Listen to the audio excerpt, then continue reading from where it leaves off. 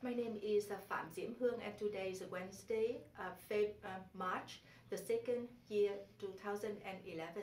I'm going to interview Mr. Nguyễn Mạnh An Dân at Saigon Houston radio station at uh, Houston, Texas. And this is a part of the Vietnamese American uh, Heritage Foundation 500 Oral History Project.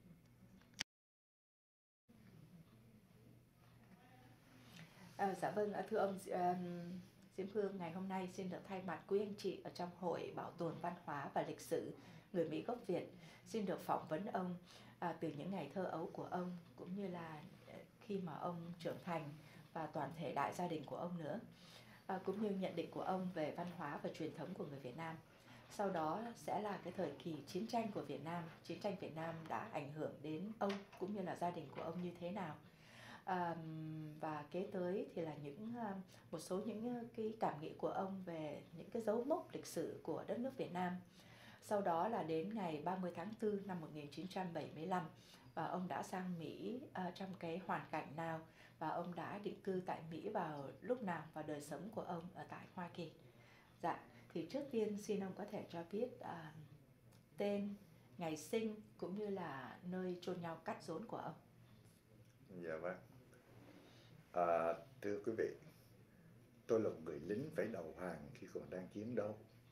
Tôi là một người tù bị lưu đày trên chính quê hương tôi. Đã bao năm trôi qua. Núi sông ơi, tôi không bao giờ quên giây phút khi bóng cờ ngã xuống xuống buông xuôi. Chiếc nghi buồn phơi thay trên đường phố, kiếp tù binh khép lại đời chiến binh. Tôi không bao giờ quên máu xương bạn bè đã đổ xuống cho quê hương. Tôi không bao giờ quên những hy sinh âm thầm của anh em trong ngục tối. Thưa quý vị, tôi vừa xin phép được đọc một đoạn thơ để nói về một phần đoạn đời của chúng tôi cũng như một phần đoạn đời của những người cùng thế hệ như tôi. Chúng tôi là những người lính. Chúng tôi đã lưu vong đến đây và trong những ngày tháng tưởng như là buồn phiền ở xứ người. Chúng tôi rất vinh dự được thấy một cái chương trình à, của cái hội à, văn hóa người Mỹ gốc Việt. Đây là một cái điều mà chúng tôi rất hãnh diện được tham gia ngày hôm nay cùng quý vị. Bởi vì à, chúng tôi muốn gỡ gắm lại một chút gì cho thế hệ con em của chúng ta biết về thân phận của mình biết về những cái à, chua xót cũng như những kiêu hãnh của quê hương chúng ta, cũng như của những thế hệ, những người như chúng tôi. Thưa quý vị, tôi sinh ở Bình Định, là một cái tỉnh rất là nghèo của miền Trung Việt Nam. Và tôi lớn lên ở thành phố Quy Nhơn. Cái thành phố mà năm 1954 khi mà chính quyền quốc gia tiếp thu tỉnh Bình Định, nó chỉ là một cái đồng cát và đầy bãi xương rồng, có không có 50 căn nhà. Bởi vì trước đó cái cái vùng Bình Định, Quy Nhơn thuộc về Liên khu 5, nó thuộc về kiểm soát của chính quyền Việt Minh. Và họ có một chính sách là tiêu thổ kháng chiến, có nghĩa là dẹp sạch hết tất cả nhà cửa, tất cả mọi thứ. Có lẽ với cái ý niệm rằng để không có một cái cơ sở nào cho giặc Pháp ừ, sử dụng. Vì vậy cho nên cái thành phố đã gần như bị phá tan. Và bắt đầu từ năm 1954, từ cái bàn tay không, từ một cái ý chí vươn lên của cả một dân tộc thành phố quy nhơn đã xây dựng từ con số 0 và cho đến à, tháng 4 năm 1955 thì thành phố quy nhơn đã phát triển ngoài sức tưởng tượng của mọi người từ con số 0 như vậy.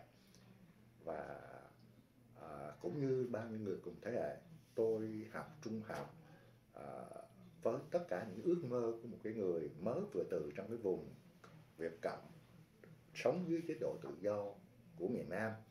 Rồi tôi cũng bước lên giảng đường đại học với tất cả những ước mơ và hy vọng. Và tôi cũng bước vào quân ngũ với cái trách nhiệm của một người trai của một cái đất nước à, chiến tranh. Và chúng ta cần phải bảo vệ những gì cần bảo vệ. Thì đó đại khái nó chỉ là như vậy thôi tức là cũng bình thường như mọi người khác. À. ông ông cho biết ông sinh năm nào à, đúng ra thì à, tôi sinh năm 1945 tuy nhiên như tôi trình bày tôi vừa trình bày là với một cái một cái xã hội mà nó thay đổi giữa một cái chính quyền à, Việt Minh cái thời Việt Minh trước năm tư và đến năm tư thì gần như đa số những người cùng thế hệ tôi đều không có khai sinh và chúng ta sử dụng một cái người ta gọi là thế về khai sinh tức là ai cũng làm khai sinh vào năm năm tư trở về sau cả mặc dù trước đó sinh vào năm nào vì vậy cho nên trong giấy tờ của tôi là sinh 1948 tuy nhiên thực tế là sinh 45 Dạ, Dạ vâng. dạ. À, ông có vừa mới nói sơ về cái à, quê hương của ông dạ vâng. à, là thành phố Quy Nhơn. À, Dạ vâng. vừa mới nói sơ thôi. Thì bây giờ xin ông có thể kể lại một ít những kỷ niệm ở thời thơ ấu à, nghĩa là thời tiểu học dạ vâng. và cái gia đình lúc đó sống như thế nào và bà con họ hàng chung quanh à, sống như thế nào? Dạ vâng. À, trước hết là tôi nói về cái giai đoạn từ sinh ra cho đến năm 1954, tức Dạ, là cái, dạ. cái, cái, ờ, lúc mà chính quốc gia tiếp thu tỉnh Bình Định. dạ Thì như tôi vừa trình bày, chúng tôi cái vùng Bình Định và Quảng Ngãi chúng tôi thuộc về Liên khu 5, lúc đó do chính quyền Việt Minh kiểm soát. bị tiêu thụ kháng chiến Dạ vâng. Thì gia đình tôi là gia đình địa chủ. Ba tôi là một người có rất là nhiều ruộng đất. Và mỗi một năm như vậy đó, ờ, gia đình tôi phải đóng thuế là ba lần. Họ không có căn cứ vào cái cái diện tích canh tác để mà đóng thuế. Nhưng mà chính việc vậy nên họ căn cứ vào, họ cho rằng những cái địa chủ thì có những tài sản tích lũy. Cho nên họ à, một năm đóng thuế ba lần gọi là tiên thu, trung thu và thanh thu. Và cái mức thuế này nó được ấn định bởi những cái buổi họp nhân dân như một là một cái tòa án nhân dân một cái người họ gợi ý cho một số người để họ đưa ra là cái gia đình này có khả năng thì cứ như vậy họ tăng mức thuế lên tăng mức thuế lên tăng mức thuế lên mặc dù là có thể nó vượt quá nhiều lần cái cái cái thu hoạch trong năm của gia đình đó. Bởi vì họ nói là của chìm và của nổi họ tận thu tất cả những cái đó. Thành ra dưới cái chế độ Việt Minh thì là riêng gia đình thôi làm gia đình địa chủ thì phải chịu những cái cảnh như vậy. Tuy nhiên cái khổ không chỉ có ở đối với những gia đình địa chủ mà cái khổ với tất cả mọi người. Đặc biệt bây giờ tôi chúng tôi chỉ nói về vấn đề học vấn thôi. Thì cái lúc đó uh, có lẽ các bạn trẻ sau này khi mà tôi nói cái điều này thì các bạn không thể tin được là có một xã hội như thế. Chúng tôi chưa biết đôi dép là cái gì. Tất cả mọi người mỗi học sinh đến trường có thể đi năm, bảy cây số và trên cái đôi chân không của mình. Cái lớp học thường được tổ chức vào ban đêm, bởi vì ban ngày sợ máy bay pháp đánh phá cho nên tổ chức vào ban đêm. Và chúng tôi sử dụng những cái cái đèn người ta gọi là đèn đèn chai, tức là cái cái cây dầu rái ở trên rừng đó, người ta dùng cái cái cái tốt của nó để làm cái dầu để trét ghe trét này, này ờ, ờ, những cái cái vật dụng để sử dụng. Còn cái cái bã của nó thì người ta bó lại dưới đồn bánh tét bằng cái lá kè tức là một cái cũng có loại lá trên núi làm một cái thành ở đồn bánh tét và đốt cái đèn nó lên. Đầy khói đầy cái mùi hôi để mà học dưới cái cánh đèn lập lòe như vậy. Và chung quanh những cái cái cái cái gọi là lớp học đúng ra nó phải là lớp học người ta có thể sử dụng cái tròi màu cái chỗ canh gác của dân quân có thể là một cái đình làng cũ có thể là bất cứ một cái gì đó không có trường mà tạm có trường và đi học như thế đi, đi học như thế. Nhưng mà cũng không học được được lâu bởi vì nó chỉ đến lớp 5, lớp 6 thời đó. Có nghĩa là cỡ à, qua khỏi bậc tiểu học một chút là hết lớp. Tất cả đều ngưng ở đó và phải à, đi làm tất cả mọi thứ không có đi học được vì vậy cho nên sau 1954 khi chính quyền quốc gia tiếp thu tỉnh Bình Định thì ở những cái năm học đầu tiên ở trong một lớp học nó rất là là buồn cười. Bởi vì có may mắn có những người đúng tuổi ví dụ đúng tuổi à, 10 tuổi 11 tuổi 12 tuổi gì đó vào lớp đại thất tức là cái lớp à, lớp 6 bây giờ.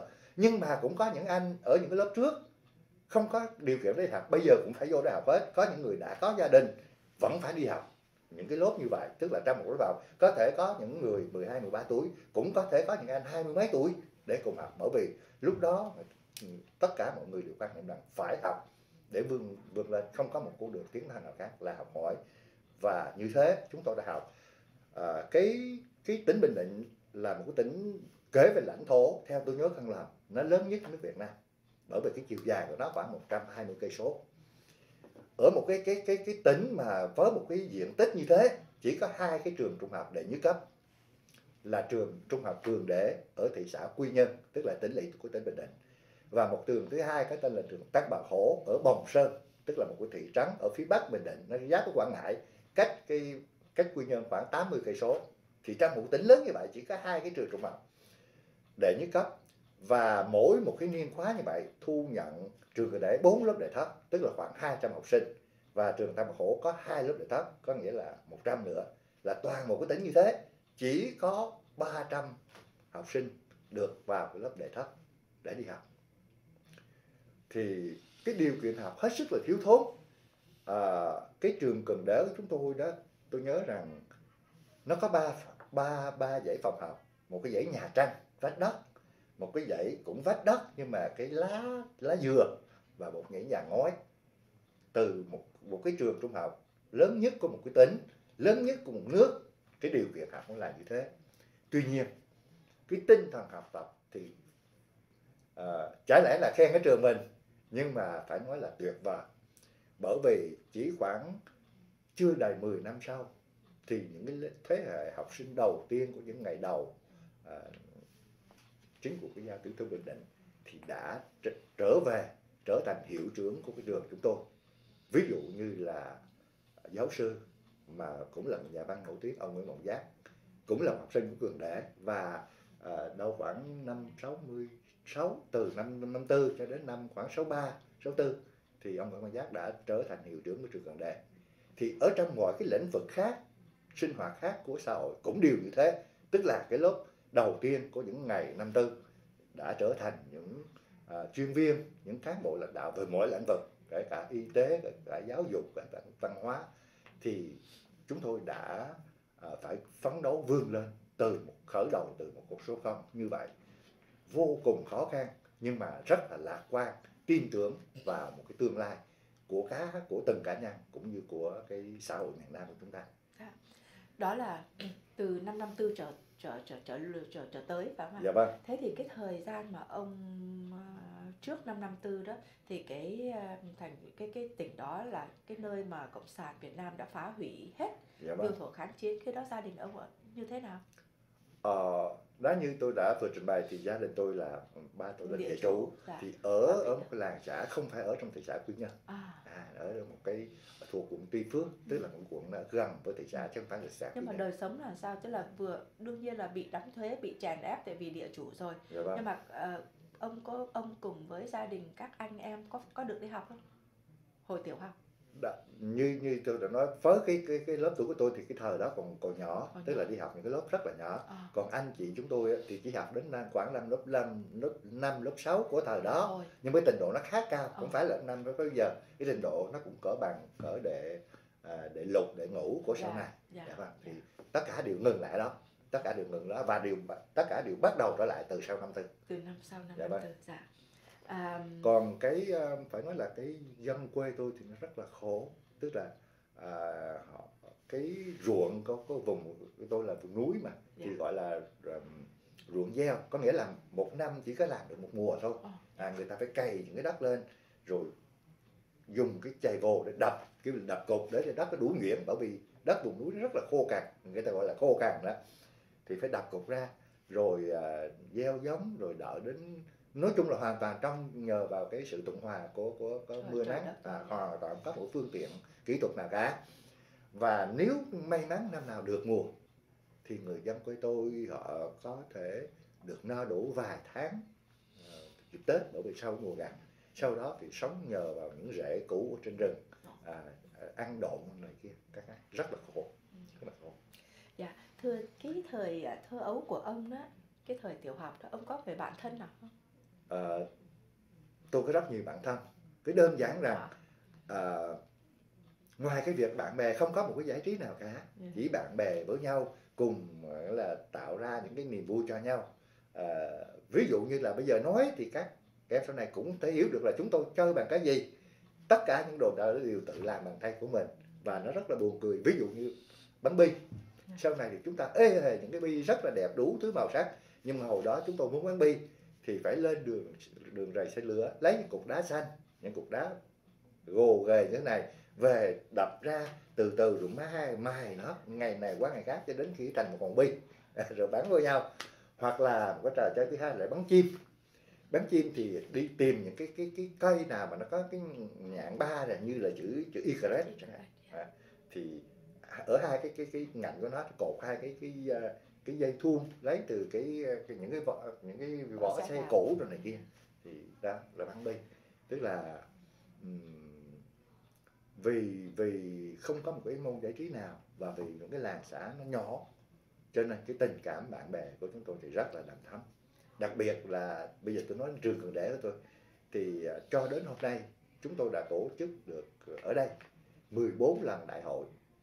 Mỗi lần đại hội thế vi cụ anh em từ khắp mọi nơi ở trên thế giới chứ không phải chỉ riêng đây.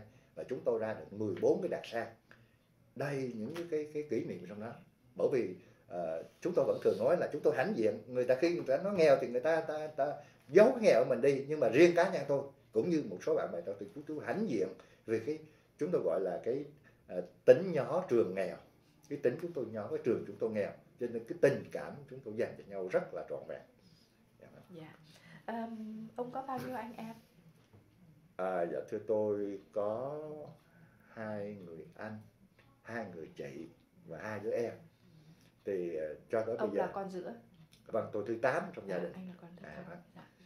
thì uh, cho tới bây giờ thì uh, chúng tôi coi như là chia hai tức là sống ở bên uh, bên nhà một nửa anh chị em ở đây một nửa anh chị em Thưa từ hồi nhỏ đương nhiên là anh chị em cũng rất là thân, bạn bè mà còn thân huống gì anh Dạ chị vâng. em. Nhưng mà ông có nhớ lại những cái kỷ niệm nào mà ông với một người chị hoặc một người em hoặc một người anh nào mà ông thân nhất không mà thương nhất và có kỷ niệm nào không? kỷ niệm thì rất nhiều chị nhưng mà bây giờ tôi không nói về kỷ niệm thương nhất và tôi nói tôi lỗi kỷ niệm nghiêm nhất và sợ nhất Dạ. ba tôi chưa từ nhỏ đến giờ chưa bao giờ nói với tôi một tiếng nào cả nhưng mà người dạy tôi là ông anh cả anh ấy nghiêm đến cái độ thế này. À, tôi là thứ tám tôi có hai người em cày làm thứ chín thứ mười cũng là con trai. Thì chúng tôi ở nhà quê thì rất là chơi cứ leo lên cây ổi hái ổi hái cắp này kia. Nhưng mà nếu mà khi nghe anh tôi ở đâu về đó thì tất cả đều phải xuống phải vô nhà để để để làm à, con ngoan. Còn nếu lỡ lúc nào cũng về mà không biết thì có có những lúc anh nói là quỳ chẳng hạn thì ví dụ như cái đứa đang đứng dưới cây cũng quỳ ngay gốc cây, cái đứa đang ở trên cây cũng tuột xuống và quỳ. Đã. nhưng mà không phải chỉ có cái cái cái uy lực của một người anh dùng để để hiếp đáp em, mà còn cái tấm lòng đúng là của một người anh. Bây giờ tôi nhắc lại, đến anh tôi tôi còn muốn chảy nước mắt. Khi mà tôi thi bên đại thất đường lễ đó, chị thấy là thi khó lắm, bởi vì đó như tôi nói là chỉ có hai trăm người, mà biết bao nhiêu là cái trường tiểu học khó vô cùng.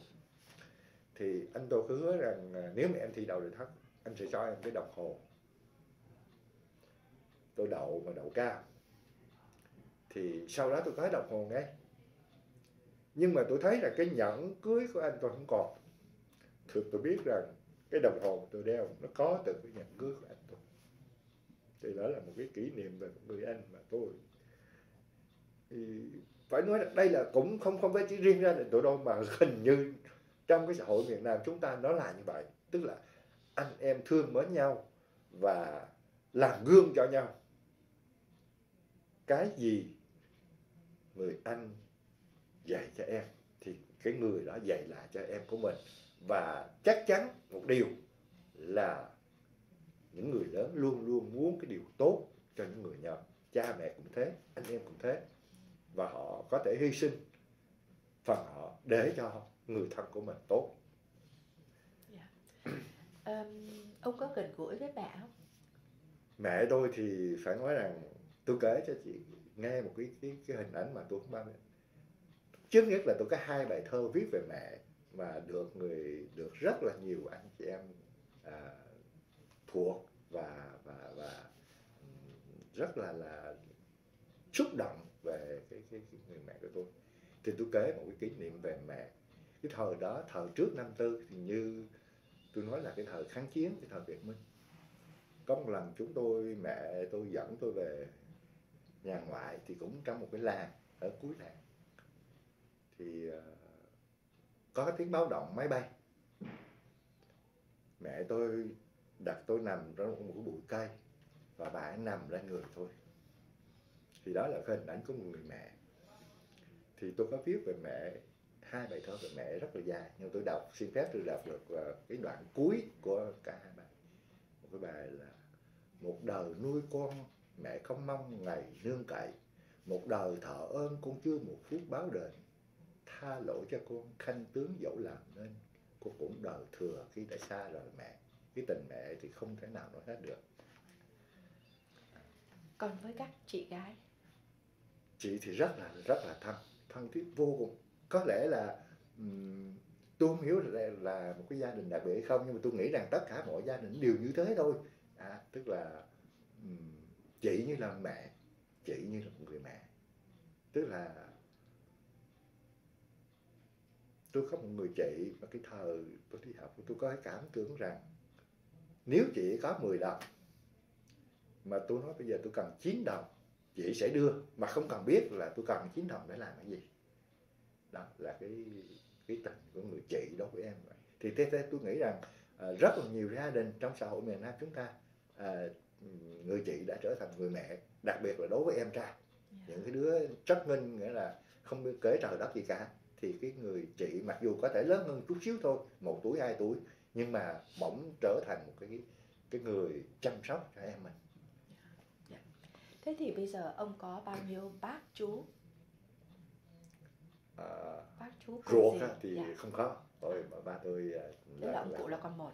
À, chỉ có một người cô tôi có à, chỉ có một người dạ. cô tức là em của ba thôi dạ thì các cư dân của ông? À, rất có nhiều. Dạ. và đó hình hình như là trong cái xã hội Việt Nam chúng ta thì cái cái tình cảm gia đình nó rất là sâu đậm nó sao động? Theo tôi nghĩ là có lẽ là tại vì cái sinh hoạt xã hội nó nó nó nó tạo ra như thế. Bởi vì à, như gia đình tôi là kiểu như là cái từ đường tức là ba tôi là trưởng cái họ thì mỗi năm như vậy có khoảng chừng 60 cái đám dỗ mỗi lần đám dỗ như thế thì có tất cả bà con đều đều về tức là từ cái thế hệ lớn đến thế hệ con ví dụ như là các cô thì dẫn con về hết các chú thì dẫn con về hết. Thì tôi không có bác chú ruột nhưng mà có nhiều bác chú họ. Thì đó cả một cái đại gia đình gần như là gặp nhau rất là thường xuyên. Dạ. à, những cái ngày ờ, kỷ dỗ hoặc là đặc biệt là những ngày tết thì gần như là đều gặp nhau hết đều chia sẻ với nhau hết. Và đó như là cái người lớn luôn luôn quan tâm đến những người trẻ. Ví dụ như tôi có một người ông người này là em ông ngoại tôi thì ông là một người thành đạt.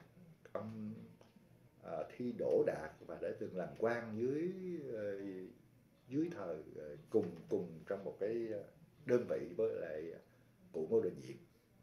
Sau khi cụ Diệm mà làm tổng thống thì ông tôi được làm dân biểu quốc hội ở Bình Định. Ông có hàng trăm những đứa cháu cháu thế hệ thứ hai tức là ông có những cháu kêu ông bằng chú kêu ông bằng bác rồi con của những người này thì kêu ông bằng ông. Tức là ông có hàng trăm đứa cháu kêu ông bằng ông như vậy. Nhưng mà khi ông gặp á hoặc là ông nghe tên thì ông biết là thằng này là con của đứa nào. À, ví dụ như uh, cửa thằng vàng thì nói là con xã Tăng dinh con vợ chồng xã Tăng dinh. Có hàng trăm đứa cháu mà, mà ông đều biết và ông đều quan tâm ông đều biết là cái đứa nào nó đương ô nó đương làm gì.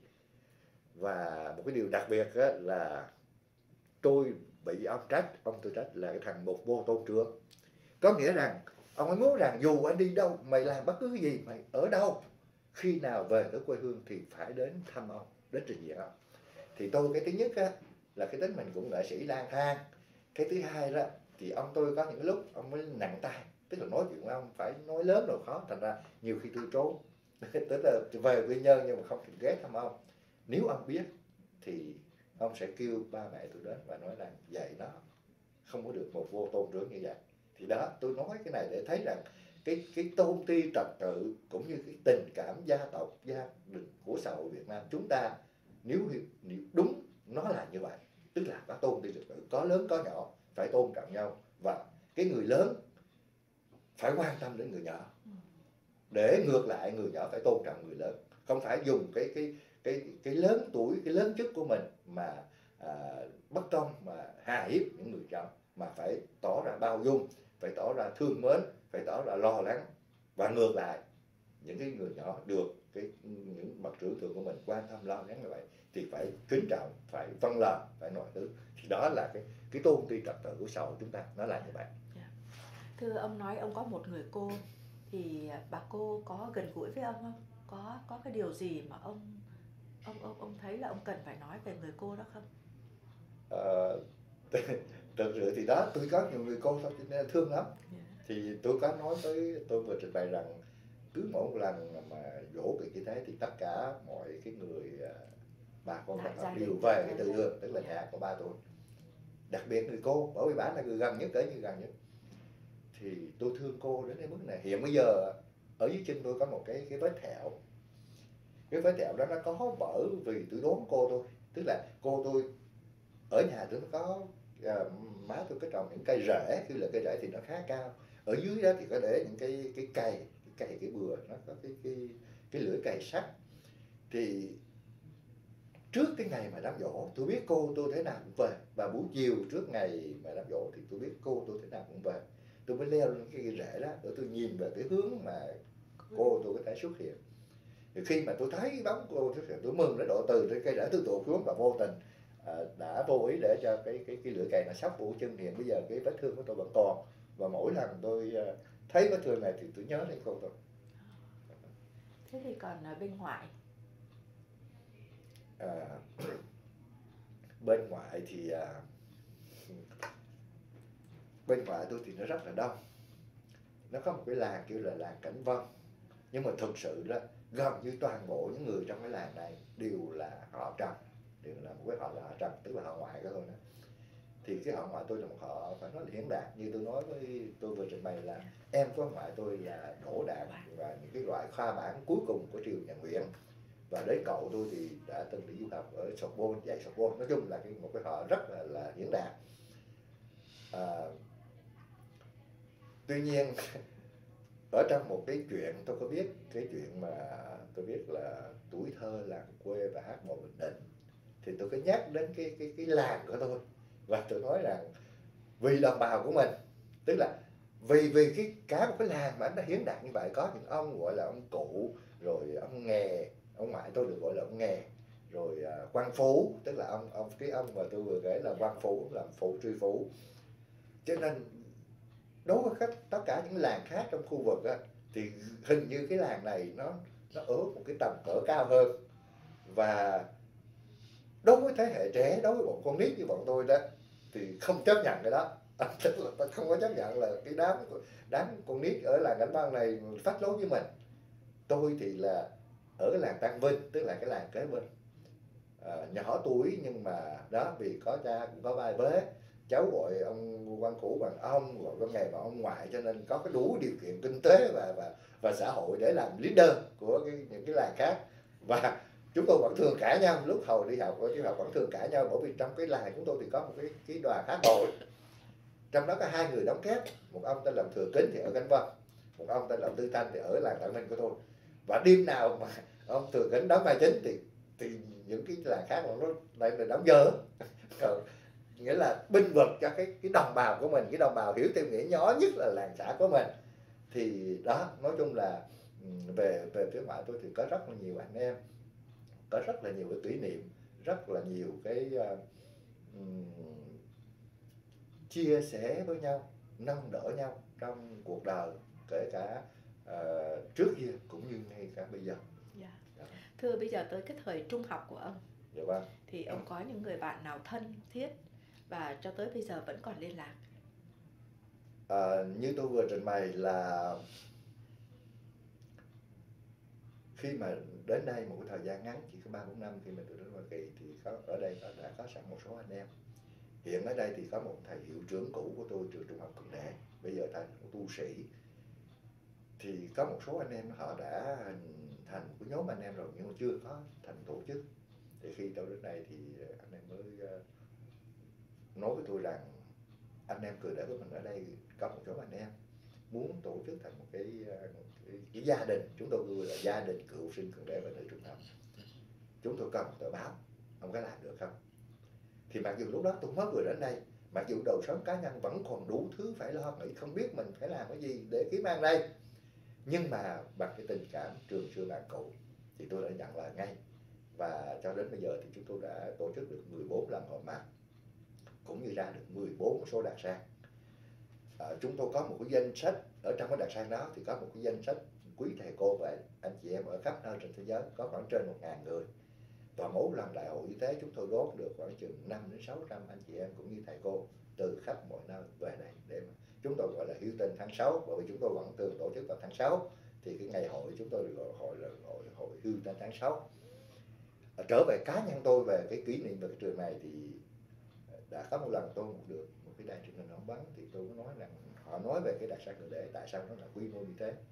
Thì tôi cũng có thành thật với anh em rằng, đối với cái ờ, đặc sản đấy thì tôi có, với riêng cá nhân tôi thì tôi có một kỷ niệm rất là đặc biệt.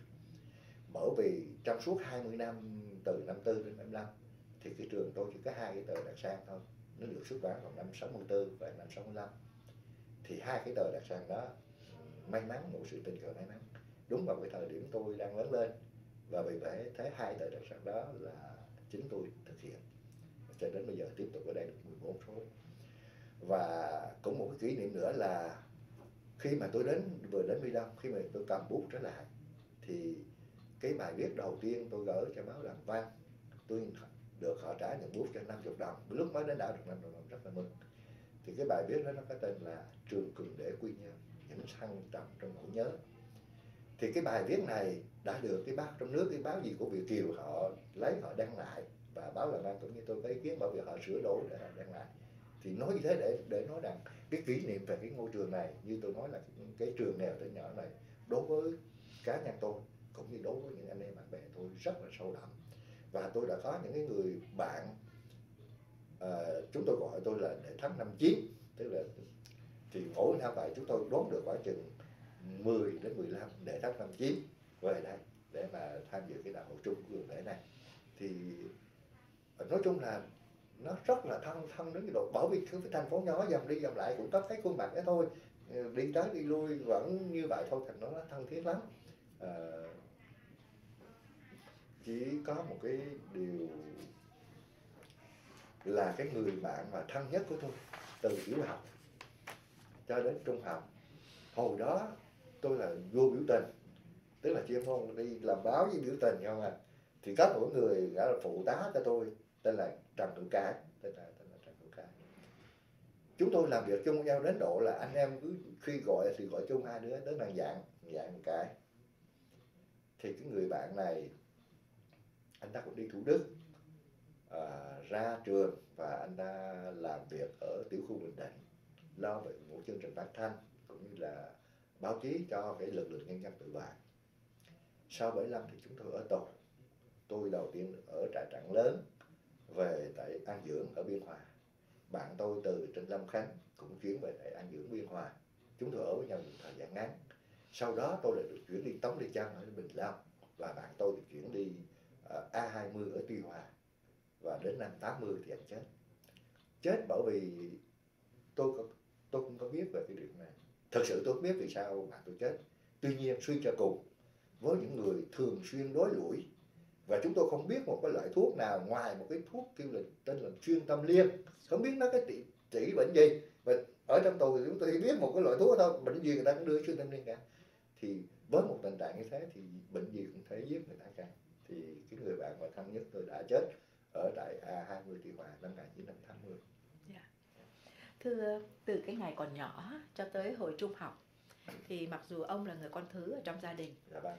nhưng mà ông có chú ý ông có coi coi là trong những ngày dỗ dỗ kỵ mà tới 60 lần trong một năm cái là mỗi một tuần đều có dỗ kỵ đó. Dạ vâng. Thì ông có chú ý lên bàn thờ như thế nào hoặc là cái nơi mà từ đường đó trang trí như thế nào không? Ông có chú ý tới cái tới những cái uh, không phải là chú ý mà bắt buộc phải chú ý. Dạ. bởi vì nhiệm vụ của tôi là đánh bóng lưu đồng chùi đánh bóng lưu đồng. Thì tôi nhớ rằng đó vì không phải là nói là khoe tự nhiên là à, địa chủ mà và là trưởng tộc. Cho nên là cái nhà tôi rất là lớn cái nhà của ba tôi ở trên quê rất là lớn. Cái thời mà đồng bào đi tán cư đồng bào quy nhân tán cư thì nhà tôi trước khoảng gần 200 người. Thì bây giờ nói về cái nhà thờ kêu là cái nhà thờ thì tôi nói rất là rõ.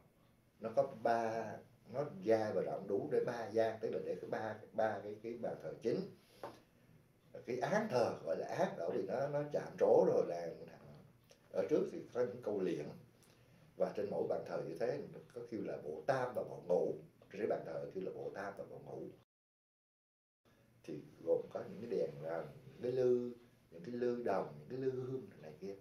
Thì rất là là là trang nghiêm và cái điều mà đặc biệt đáng lưu ý trong cái việc mà cúng dỗ của của của, của ở xã hội chúng ta đó là vào cái giờ mà làm lễ thì tất cả con cháu đều phải hiện diện trước cái cái, cái bàn thờ như thế.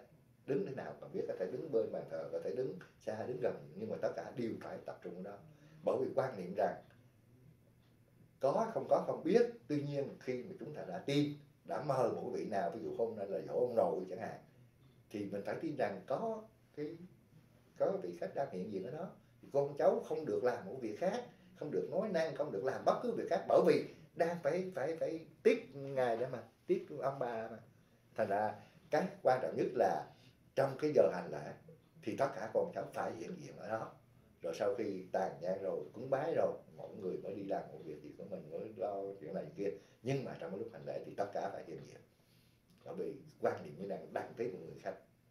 Gia đình này có khách. Um, cho tới khi ông uh, đi ra tới hải ngoại ông có giữ uh, những cái uh, lễ tục đó không? Um, vẫn có giữ nhưng mà bớt đi.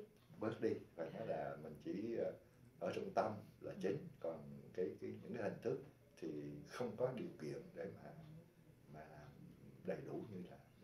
Thế người anh cả của ông còn sống hay là anh cả tôi thì đã mất rồi. Mất rồi. Ông mất trong hoàn cảnh nào? Do bệnh. Bệnh bác kìa Bệnh. không có gì đặc biệt không bệnh gì đâu dạ. À, ông là cái người mà cũng phải bắt buộc phải dọn bàn thờ phải lo đánh lư đồng. Ông có giữ được những hình ảnh xưa của gia đình không? Hoặc Dạ là có những kỷ niệm nào của của của anh ông hoặc là của mẹ ông hoặc là của chị của em những cái gì của gia đình ông còn giữ không? Vẫn còn giữ. Rất là, là khá nhiều. À, một số thì ờ, khi đi chúng tôi mang theo. Ờ. một số thì nhờ gia đình có bên trên ở qua thành ra là hình ảnh gia đình thì có rất là nhiều. Ví dụ như ở đây có một cái hình đại gia đình. À,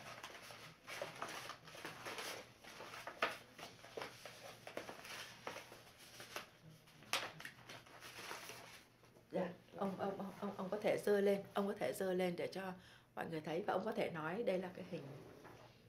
À, đây là hình một cái à, hôn lễ của người em em em út của tôi. Đây cũng là một sĩ quan của quân Việt Nam Cộng Hòa. Và đây là ba mẹ tôi. À, ở trong này có ba thế hệ. Đây là ba mẹ tôi. Đến cái thế hệ anh chị em chúng tôi đây. Và những cái à, nhóm nhóm này là hàng cháu. Và trong những cái cháu này con bà chị à, thứ năm của tôi thì trong tất cả những cháu này bây giờ đang ở đây. Và kể cả vừa dâu vừa rể là 14 dược sĩ. Rồi, dạ dạ. Xin cảm ơn ông. Bây giờ thì chúng ta qua đến cái thời kỳ chiến tranh. Dạ vâng. Sau khi mà ông học xong ở trường cường để ông à, ra trường dạ vâng. thì ông lên trường đại học nào? Dạ tôi học văn khoa. Ông học đại học văn khoa. Dạ vâng. Và đến à, thời kỳ nào thì ông đi à, vào quân đội Bây giờ phải nói cho rõ ra là thế này. Trước năm 1968 tức là trước biến cố Tết Mậu Thân dạ. thì gần như là nó có một ưu tiên về để hoạt dịch học vấn.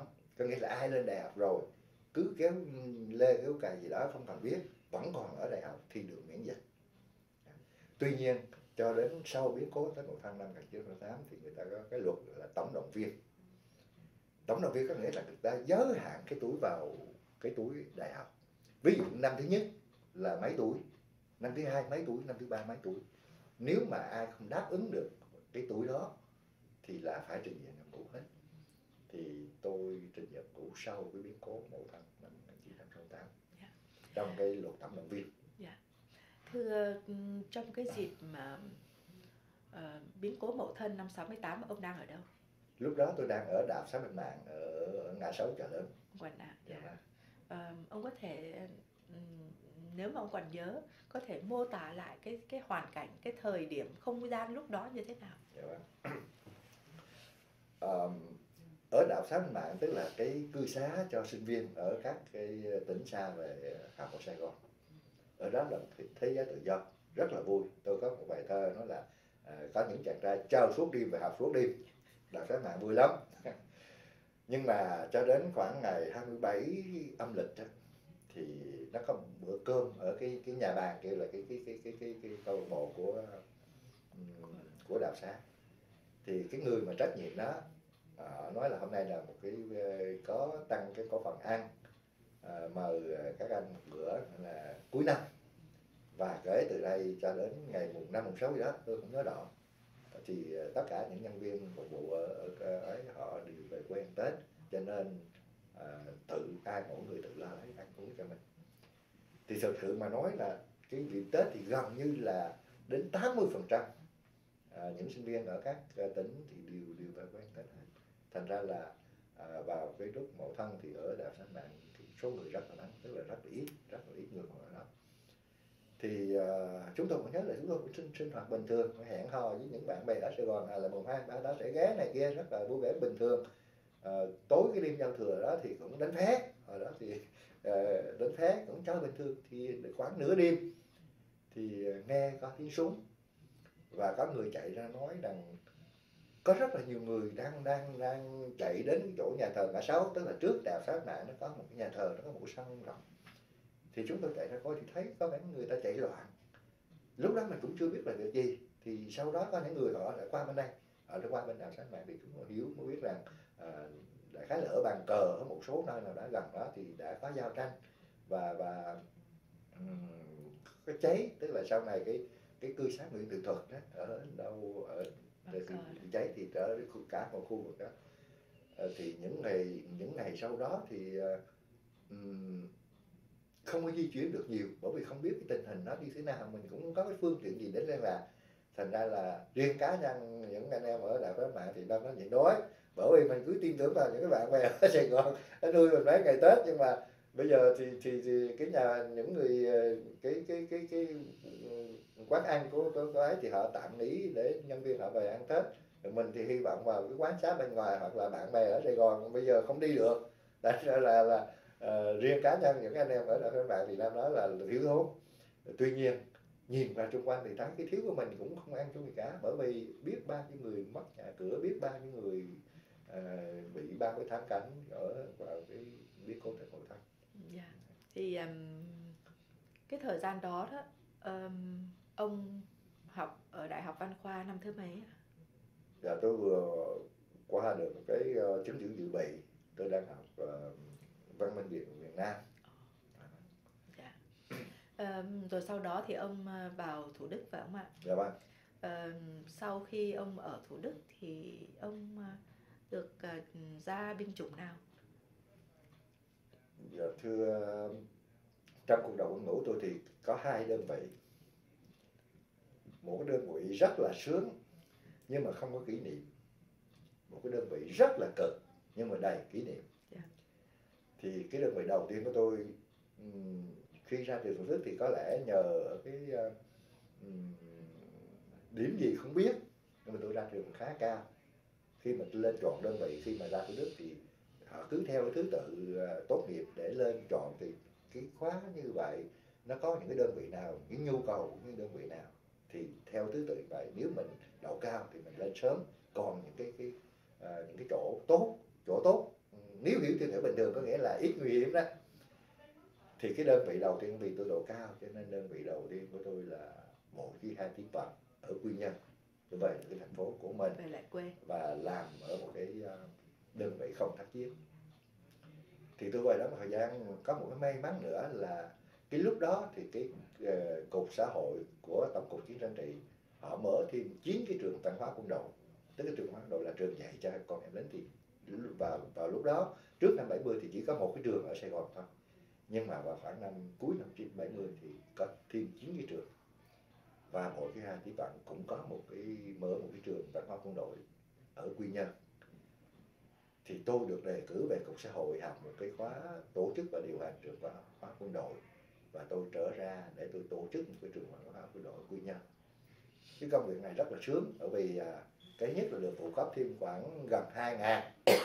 Cái thứ hai là nếu dạy giờ nào thì được trả giờ y như là giáo sư của của bộ giáo dục.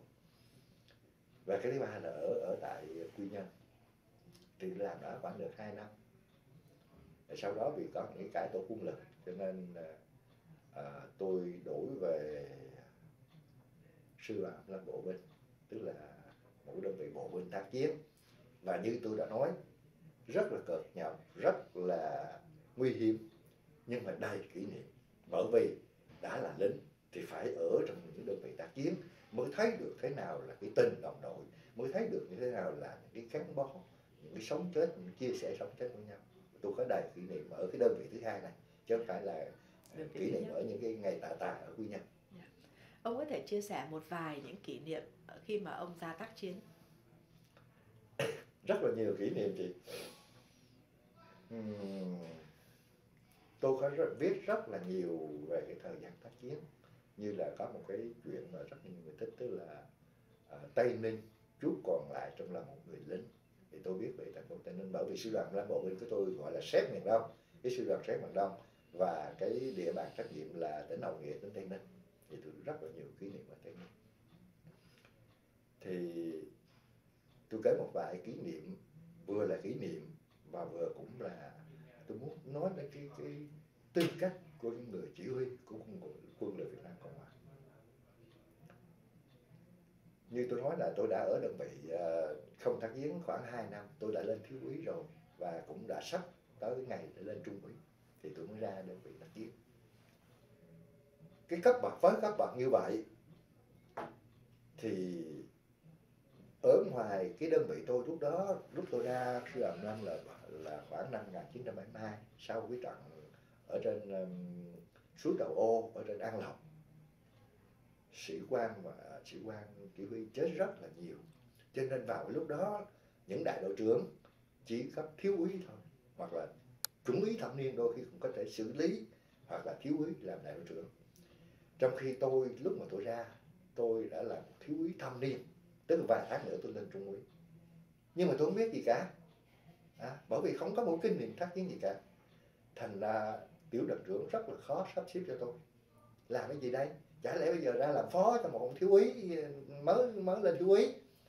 Làm à, đơn vị trưởng thì không làm được bởi không biết gì cả mà. Không biết gì cả làm sao thì cái ông tiểu đoàn trưởng của tôi ông nói tôi là bây giờ cậu cứ theo tiểu đoàn trong một thời gian hy vọng là cậu học hỏi nhanh để để làm nhiệm vụ. Thì cái thời gian đầu ba tuần lễ đầu tôi đi chơi thôi mà, chỉ đi theo không làm gì cả không có một chức vụ gì hết, đi theo để biết như thế nào về cách điều động cái cách bố trí quân cái cách như thế nào. Thì sau đó tôi mới là làm đại đội phó. Lúc đó thì có một, cũng đại úy từ sư đoàn ba về làm đại đội trưởng. Cho nên ghép tôi được bởi vì xứng đáng là chỉ huy tôi còn mấy ông kia thì đều là đàn em của tôi hết. Những ông đạo trưởng kia đều là đàn em của mình. Mặc dù mình thằng ngu không biết gì cả ở trong đất ở trong văn phòng ra. Thì tôi làm đại đội phó bởi khoảng 6 tháng thì tôi được lên làm đại đội trưởng. Thì đây là một cái kỷ niệm mà tôi nói để nói là cái cái cái cái, cái phong cách của người chỉ huy như thế nào. Thì khi mà tôi làm đại đội trưởng thì đơn vị tôi đi hành quân một cái cuộc hành quân cấp chiến đoàn. Cấp chiến đoàn có nghĩa là trên tiểu đoàn hoặc là tiểu đoàn nữ hoặc hai tiểu đoàn hoặc ba tiểu đoàn. Thì chúng tôi hành quân vào một cái chỗ ở trên bản đồ chúng tôi gọi là cái những cái xương khúc xương tức là một nghĩa địa thì cái ký hiệu trên bản đồ nhìn vô như khúc xương xương. Thì cái chỗ đó sau này tôi biết đó là cái bộ chỉ huy của uh, quân đội gò dầu. Cái chỗ rất là nguy hiểm ở trong đó hồng hố biên có những rừng tre thường thường là đi hành quân người ta né đi đi đường bọc không không đi thẳng vào đó nhưng mà tôi cái thứ nhất á, là vì mình muốn kinh nghiệm cái thứ hai là mình, mình nghĩ rằng nhận lệnh là phải làm. Làm không được thì nói không được chứ không có kiểu mà ở ngoài tác chiến có kiểu là báo báo báo láo. Tức là nói là đi né đây rồi vẫn nói là linh sơn linh sơn tức là lục soát cái tiếng ờ, cái tiếng uh, truyền viên cái tiếng ám danh truyền viên linh sơn ờ, mô tô A tức là một tiểu A một tiểu B. Mặc dù người ta không đi người ta vẫn báo. Tôi thì không hôm đó thì nhận cái nhiệm vụ là một chiến đoàn, một cá, một tiểu đoàn mà họ đã báo là họ đã đã qua rồi. Rồi một cái đại đội của cái tiểu đoàn tôi cũng báo qua rồi. Nhưng mà thực sự là anh em họ đi ờ, họ không khéo họ biết rõ cái địa thế, họ đi một cái con đường an toàn một chút. Mặc dù là không phải là tránh né, nhưng mà họ họ biết cái cái cái điều động tôi thì không có kinh nghiệm cho nên dàn hàng ngang đại đội nhà bộ trong nguyên mục tiêu chiếm mục tiêu thì chỉ có thể tưởng tượng rằng cái đại đội nó bị pháo khoảng một ngàn quả đạn pháo. Chết liền một binh sĩ, vô là chết liền một người. bây giờ tôi vẫn còn nhớ tên là nó, đó là người, binh sĩ đầu tiên mà chết dưới sự chỉ huy của tôi. Anh ta tên là Mai Văn Hè. Hạ sĩ Mai Văn Hè, bây giờ tôi vẫn nhớ. Thì khi mà gặp cái tình huống như vậy đó, tôi không còn biết gì từ thân mình cả. Tôi trong đầu tôi lúc đó chỉ nghĩ rằng làm thế nào để bảo toàn được cái đơn vị của mình làm thế nào để bảo vệ được binh sĩ dưới quyền của mình? Thành ra trước một áp lực nó quá mạnh như vậy thì tôi cho họ rút rút quân. Vẫn vẫn theo đúng cái chiến thuật, tức là không có bỏ chạy, tức là rút người ta ở trong trường bộ binh thứ đức có dạy một cái một cái bài học chiến thuật gọi là rút quân, là kêu là cuốn chiếu. Có nghĩa là cái đơn vị xa sẽ rút trước, nằm lại im trợ. Cứ đơn vị kế tiếp cứ từng đó thang nặng là lui, vẫn lúc nào vẫn có có người bảo vệ, vẫn có cái lực lượng bảo vệ thì tôi đã làm được điều đó. Cuối cùng ở trong đó chỉ còn tôi hai người mang máy hai người mang máy và một cái toán năm người gọi là toán BK tức là biệt kích báo lại cho tôi. Khi mà tất cả đã ra hết rồi thì trong đó còn có mấy thầy trò tôi không thì lúc đó tôi cũng bắt đầu ra. Tôi ra thì đêm đó đại đội được rút về một cái làng ở gần đó. Đêm đó làm đêm trăng các bạn nhớ làm đêm trăng. Thì khi sau khi bố trí quân thành của tiểu đoàn tiểu đoàn trừ bố trí một cái, cái vòng đai lớn thế này thì khoảng, đêm đã có trăng. Khoảng 7 giờ tối thì mấy trường tin mới gọi. Từ tiểu đoàn gọi nó là lên gặp và 45 tức là áp số tiền tin có tiểu trưởng tôi là 45 51 tôi tôi đại trưởng là một. Cái áp số tiền tin là 51 thì người trường tin họ báo là mời 51 mới gặp 45 thì lúc đó trong đầu tôi đinh rằng thế nào cũng bị bị bị xài xế. Thế nào bây cái vụ mình rồi ráng này rất là bị xài xế cho nên trên đường đi đó, thì tôi đã nghĩ rằng nếu mà bị sợ xế thì tôi cũng sẽ trình bày lại. Tôi nói người ta không vô tôi vô. Nhưng mà tôi vô bây giờ cái áp lực của đối phương mạnh như thế thì tôi cũng làm được cả. Tôi đã làm hết sức của tôi rồi. Mình nghĩ là như vậy nghĩ là sẽ biện bác sẽ là cãi lại. Nhưng mà trong mà khi tôi lên đó thì có một con xô ở nhà mình thì có một xô tức là áo mưa làm đủ thứ chuyện đó nó vừa đắp vừa nằm vừa mát mưa trải xuống đó, thì có một ấm trà có một dĩa bánh ngồi sẵn tại chỗ thì có một đại úy tiểu đoàn phó một đại úy trưởng ban ba ngồi đã sẵn rồi. Thì khi tôi lên thì hai vị đó nó ngồi đứng đây thì sau đó một chút thì tiểu trưởng tôi lúc đó là thiếu tá ảnh khóa 20 Đà Lạt. Yeah. và tôi thấy cái không khí như vậy thì thấy là ngoài cái cái đường của mình rồi không biết chuyện gì đây nhưng mà là không phải là là xài dễ đâu thì đây tôi nói là cái cái cái cái cái tình cũng như là cái cái cái tư cách của người chỉ huy thì tưởng tưởng bây giờ thì lấy một cái nón sắt mỗi đứa lấy một nón sắt kê ngồi ngồi kế bên tôi và dỗ ra tôi nói là, sáng hôm nay lẽ ra là chú mày không nên vô đó, bởi vì cái chỗ đó nó ghê lắm là một cái lực lượng ghê lắm, không có vô được cái làm lặng của chú mày là đã đã đã dẫn con cái nhà vô đó nhưng mà cái cái mà đáng khen của chú mày là đã bình tĩnh giải quyết công việc. Trước cái tình huống xấu như vậy cái việc chú mày làm là tốt nhất trong cái xấu. Đó, tức là thay vì là là khiển trách thì là an ủi một cách rất là khéo léo. Thì tôi vẫn nhớ hoài cái cái tình cảm của cái người chỉ huy của tôi. Nó là như vậy. Đó là chú mày đã làm được tốt nhất trong cái tình huống xấu. Thì đó là một cái kỷ niệm mà tôi nhớ cái lần đầu tiên tôi uh, dẫn anh em đi hành quân thì cái người chiến sĩ hy sinh đầu tiên dưới quyền chỉ huy tôi là hạ sĩ Mai Văn Hè và sau đó thì đơn vị tôi mỗi lần đi qua đó vẫn gọi chỗ đó là mặt khu Mai Văn Hè cho đến ngày tôi đã ngủ thì tôi vẫn gọi cái chỗ đó dù ở trong bản đồ nó tên gì tôi không cần nhớ tôi nhớ mặt khu Mai Văn Hè là nhớ lại cái chỗ đó thưa ông ở trong đơn vị trong sư đoàn 25 cho tới dạ vâng. uh, 30 tháng 4 dạ vâng. cho tới năm 75 dạ vâng. dạ. thì tôi có viết một cái chuyện là giờ cuối ở một đơn vị nhỏ. Ờ, cũng có in trong cái quyển người lính cũng có một ký đây. Thì đó, thì tôi nói về những cái trận đánh cuối cùng, những cái hy sinh cuối cùng của của những cái đơn vị rất là nhỏ, nhưng mà vẫn làm tròn cái nhiệm vụ mình, vẫn hy sinh cho đến giọt máu cuối cùng. Cái người thiếu úy dưới quyền chỉ huy của tôi chết vào lúc 3 giờ chiều ngày 29 tháng 4 giữa một cánh đồng bưng khi chúng tôi rút về từ tiểu khu bộ Nghĩa, băng một cánh đồng bưng về ở xã Tâm Thứ Nhì ở gần Sài Gòn. Dạ. thì lúc 3 giờ chiều cái người thiếu úy anh ta là Mai Trung Con tôi vẫn còn nhớ tên là Mai Trung Con thì đã hy sinh vì bị đạn pháo vào lúc 3 giờ chiều ngày 29 tháng 4.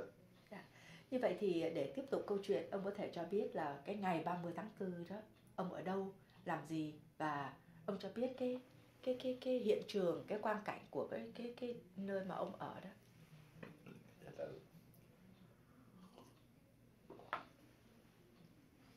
Um, như tôi đã trình bày là cái đơn vị tôi thì cái um, cái vùng trách nhiệm là Tây Ninh và Hậu Nghĩa.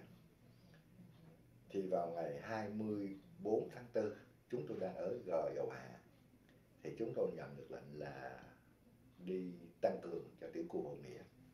Thì từ Hậu Nghĩa từ gò Dầu Hạ của Tây Ninh chúng tôi đi Hậu Nghĩa. Thì vào ngày 24 tháng 4 mặc dù cái tin tức thất là ở khắp mọi nơi vùng 1 đã mất, vùng 2 đã mất, phòng tuyến An Lộc đã lung lay, rất là là nhiều những tin tức không vui. Tuy nhiên, những cái đơn vị nào còn chiến đấu thì cái cái cái tinh thần vẫn bình thản, vẫn bình thường, vẫn làm hết sức mình. Thì chúng tôi vẫn làm những công việc y vậy, tức là khi mà lên tới Hậu Nghĩa thì chúng tôi được uh, phòng 2 ở đó cho biết rằng quân tiến này, này ở uh, ngã ba Tân Mỹ, ở nhà máy đường Hòa, ở nước Hòa, ở Hoàng cái tình hình đó rất là xấu. Nhưng mà không ảnh hưởng gì đến cái cái cái cái, cái trách nhiệm của chúng tôi cả. Chúng tôi vẫn làm những việc bình thường y như là cái, cái tình trạng bình thường. Có nghĩa rằng à, chúng tôi gọi là hành quân để giải tỏa áp lực địch tức là chúng tôi tấn công ngược trở lại những chỗ nào mất thì, thì đưa quân tới. Chúng tôi bình thường như thế từ 24 cho đến 29 tháng 4 cho đến à, tối chiều ngày 28 tháng 4 thì chiều ngày 28 tháng 4 thì cái lúc đó thì tình hình nó đã xấu ở ngoài đó rồi, chúng tôi biết. Nhưng mà lúc đó người lính nghĩa là chỉ còn biết một điều thôi, là phải bám với đơn vị mình, vì đơn vị của mình không có không có lung lay, hoàn toàn không có lung lay gì cả. Vẫn cứ bám đơn vị, vẫn tin tưởng vào cái cái mục đích mình làm. Thì đến chiều ngày 28 tháng 4 thì chúng tôi nhận được cái lệnh là rút về để bảo vệ à, tòa hành chánh cũng như là tiểu khu hội nghĩa. Thì chúng tôi từ những cái vùng hành quân xa rút về rút vào hội nghĩa. Thì lúc mà chúng tôi vào hội nghĩa thì cái tình trạng nó đã rất là xấu tức là cái kho xăng cháy nó bị pháo kích tính hội nghĩa bị pháo kích rất là nhiều. Kho xăng cháy kho đạn nổ rồi à, nhà cửa để thiêu điều lắm. Cái tính liệu hội nghĩa là tính rất là nhỏ nó uh, như là một cái thị trấn nhỏ vậy thôi chứ nó cũng không có nhà cửa lâu đài gì nhiều. Nhưng mà trong một cái trong một cái, cái diện tích nhỏ như vậy mà đủ thứ hỗn loạn cả. Đó. cháy một cái cái, cái, cái, cái kho đạn thì vẫn nổ nổ thì đạn nó sạc lên đầy trên một trận kho xăng cháy. Rồi ờ, đường xá này kia là thủng nát đó nhưng mà nhiệm vụ chúng tôi là rút về để bảo vệ cái tòa hành chánh và cái ờ, cái tiểu khu. Thì chúng tôi vẫn à, bố trí quân để làm nhiệm vụ của mình thì riêng cá nhân nói về cái tình cảm cá nhân thì đêm hôm đó tôi mất người bạn thân.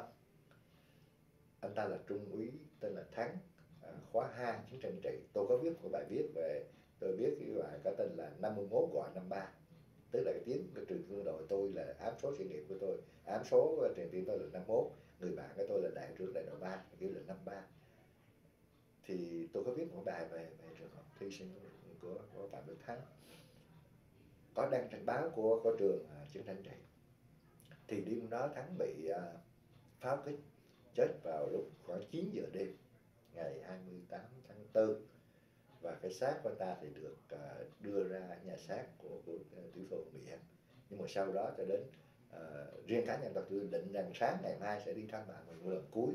Nhưng mà cái điều gì tôi không thực hiện được bởi vì sáng ngày 29 thì cái áp lực nó quá mạnh tức là xe tăng nó đã đã tiến sát vào trong cái cái cái vành đai của, của tiểu khu. Và chúng tôi chiến đấu cho đến khoảng à, 11 giờ trưa ngày 29 tháng 4 thì liên lạc với ờ, trung đoàn. Trung đoàn chúng tôi lúc đó đóng ở căn cứ Đức Dũng ở trên cái đường quốc lộ đi ờ, từ từ Củ Chi đi Tây Ninh. Thì không liên lạc vô tuyến được với với trung đoàn. À, chúng tôi cũng liên lạc về sư đoàn ở Củ Chi liên lạc vô tiếng cũng Đức không có liên lạc vô tiếng thì lúc đó chúng tôi tự quyết định là lui binh. Tức là lúc đó thì à, ở ở ở hậu nghĩa rất là hỗn loạn. Tức là à, những anh em cảnh sát những anh địa phương quân nghĩa quân rồi nói chung là có rất là nhiều đơn vị bị thất tán họ tập trung trở lại. Và cái nhiệm vụ của chúng tôi là đơn vị chủ lực duy nhất ở đó. Cho nên bảo vệ dân chúng cũng như bảo vệ những cái à, những cái chiến hữu của các đơn vị khác à, đưa họ về nơi an toàn đó là cái ý định vào lúc trưa ngày 9 tháng 4 chúng tôi là như vậy. Thì từ cái, từ hậu nghĩa, đúng ra nếu mà tình trạng bình thường mà chúng tôi muốn rút về quốc lộ thì chúng tôi phải đi một cái dọc theo cái con đường nhựa từ mạc củ chi vào trong hậu nghĩa. Nhưng mà vì liên lạc không được với bộ tư lệnh ở củ chi, cho nên chúng tôi quyết định là băng một cái đồng bưng lội nước cho đến quá đầu gối, luôn một cái cái đoạn đường dài như vậy. Và chúng tôi nắm về nhắm về hướng à, cái khúc quốc lộ quốc lộ hướng về Sài Gòn là chúng tôi đi. Thì lúc đó thì mọi việc vẫn bình thường chúng tôi vẫn đi có đội hình đàng hoàng tức là đội hình tức là hàng ngang ở trước có hai cái cánh quân ở hai bên giữ hông có cánh quân bảo vệ phía sau. Và ở chính giữa đó là cái khối người mà thất tán đơn vị như tôi nói tức là cảnh sát địa phương quân đủ thứ đủ thứ hình bằng đi ở trong tiểu đoàn chúng tôi có nhiệm vụ bảo vệ. Thì chúng tôi đi về đến khoảng 5 giờ chiều thì đến bờ sông Vàm Cò thì trên đường đi như vậy như tôi nói là bị pháo, bị bị tấn công, bị những cái những cái chốt ở trên các cái cái cái, những cái gò ở trên giữa cái đường như vậy họ bắn là rất là nhiều. Nhưng mà cái đội hình vẫn là nguyên vẹn, vẫn chặt chẽ. Chúng tôi đi vẫn, người bị thương vẫn tải thương, vẫn có bảo vệ nhau, không có một cái gì là mất bình tĩnh vào lúc đó khác.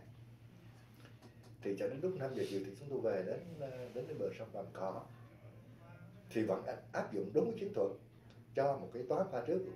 Trong cái nhà bên chúng tôi gọi là làm cái đầu cầu, tức là đầu tiên cho một toán pha trước bố trí ra và rồi từ từ đơn vị mới qua lộn về bờ sông đó. Thì cái hoàn cảnh lúc đó là cái bờ sông, rồi đến một cái cánh đồng, một cái đồng dài rộng vậy ở xa xa kia là cái đường quốc lộ đi chạy từ Sài Gòn từ um, Bảy Hiền đi, đi hướng lên Tây Ninh. Thì chúng tôi còn thấy xe cộ là chạy trên đó. Xe nhà bên chạy. Thì vẫn cứ vẫn cứ nghĩ rằng đây là đất nhà.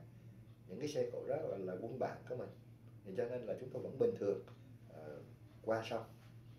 Uh, tải thương rồi tất cả mọi thứ đều vẫn lúc đó vẫn còn đúng chiến thuật. Chưa chưa cái cái gì là là, là bất bình thường cả thì sau một ngày mà mệt mỏi như vậy, nguy hiểm và mệt mỏi vậy, thì khi qua được xong rồi, chúng tôi nghĩ rằng đã tới được phần đất nhà rồi. Cho nên mình cũng tự cho phép mình nghỉ ngơi một chút. Có nghĩa là khi qua xong rồi thì tất cả đơn vị ngồi ở giữa bờ ruộng đó và tự thưởng mình một chút nghỉ ngơi.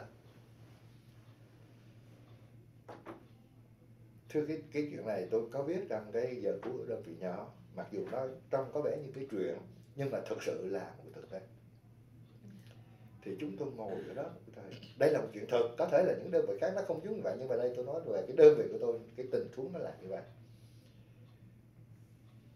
Thì lúc đó nói tiếng nói tiếng là tiểu đoàn nhưng mà đã có một số đi theo với lại những chi đoàn thiết giáp ở đi hướng khác có một số khác thì nói chung lúc đó gần như tôi là cái người chỉ huy ở cái cái cái, cái cánh quân đó thì tôi đang ngồi như vậy cổi giày ra để bắt vớt cái nước này rồi xong rồi như vậy thì tôi thấy có một người đàn bà ở từ trong xóm đi ra, nói chuyện gì với một cái đám anh em đứng ở xa đó cuối cùng họ chỉ vào hướng tôi. Thì cái người đàn bà này đến gặp tôi hỏi, anh có phải là người chỉ huy cái toán toán quân này không? Tôi nói, phải. Bà xưng bà là chủ tịch hội phụ nữ giải phóng. gì và bà bà nói là tất cả lực lượng giải phóng đang bố trí cái chỗ cái sông xong rồi tới cái ờ, cái đồng lúa rồi đến cái xóm nhà khuất khuất xa xa kia. Thì bà nói là tất cả những xe cộ chạy trên đường là xe của giải phóng đang tiến vào Sài Gòn. Tất cả ở trong số này thì lực lượng ờ, giải phóng đã ừ, dạ, chiếm đầu thì bây giờ yêu cầu tôi là cho buông súng đầu hàng. Lúc đó là khoảng 5 giờ rưỡi chiều ngày 29 tháng 4 thì lúc đó tôi đặt tôi vào thấy lúc đó mình sững sờ mình và mình vẫn cứ nghĩ rằng à, đã về tới đất nhà rồi. Những cái hình ảnh mình thấy đó là quân bạn không ngờ bây giờ tình huống nó đã khác tức là mình đã vào một cái chỗ mà họ đã chiếm rồi họ đã đã bố trí sẵn trong đó để họ chờ mình rồi. Đằng sau lưng mình là một cái sông rộng như thế lui lại cũng không được. Thì đặt mình vào cái thế phải xử trí thì tôi nói là bây giờ tôi không có trả lời bà. Nếu bà có ở đây thì tôi không quyết được được. Bây giờ mà bà cứ vào là rồi tôi sẽ có quyết định sau.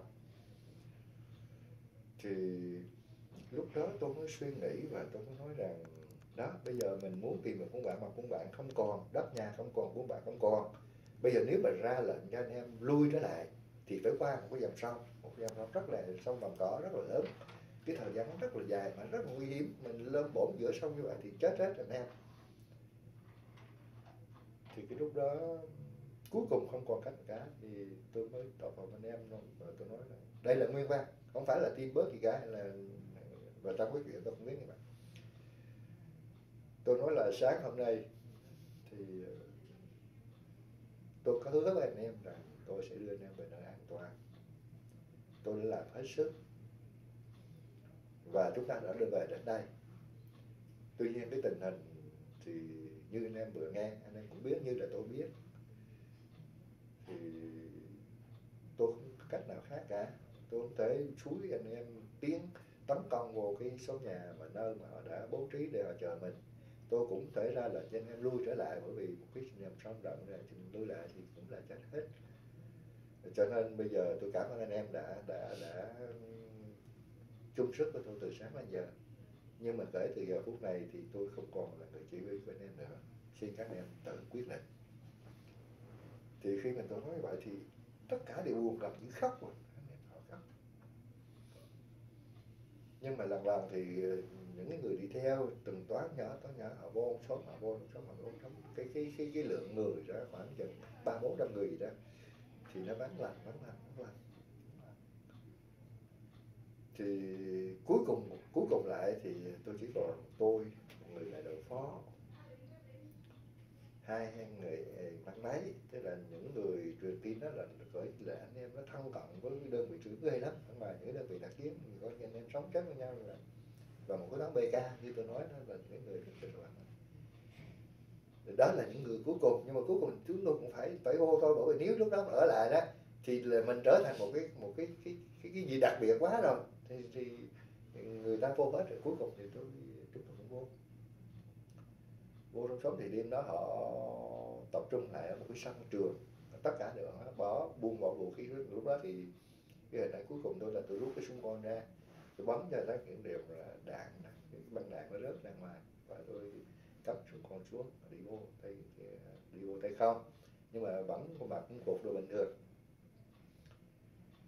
Thì đêm hôm đó uh, không ai nói gì cả. Thế họ chỉ vô họ vô thì thấy đã có lính họ đứng dọc hai bên cái đường mình vô rồi. Và họ cứ một cái đường mà mình vô. Vô thì tất cả dồn ra một cái cái sông trường học ở chỗ đó là xã Tâm Thới Nhì quận Tháp Môn thì ở đó một đêm. Ở đó một đêm.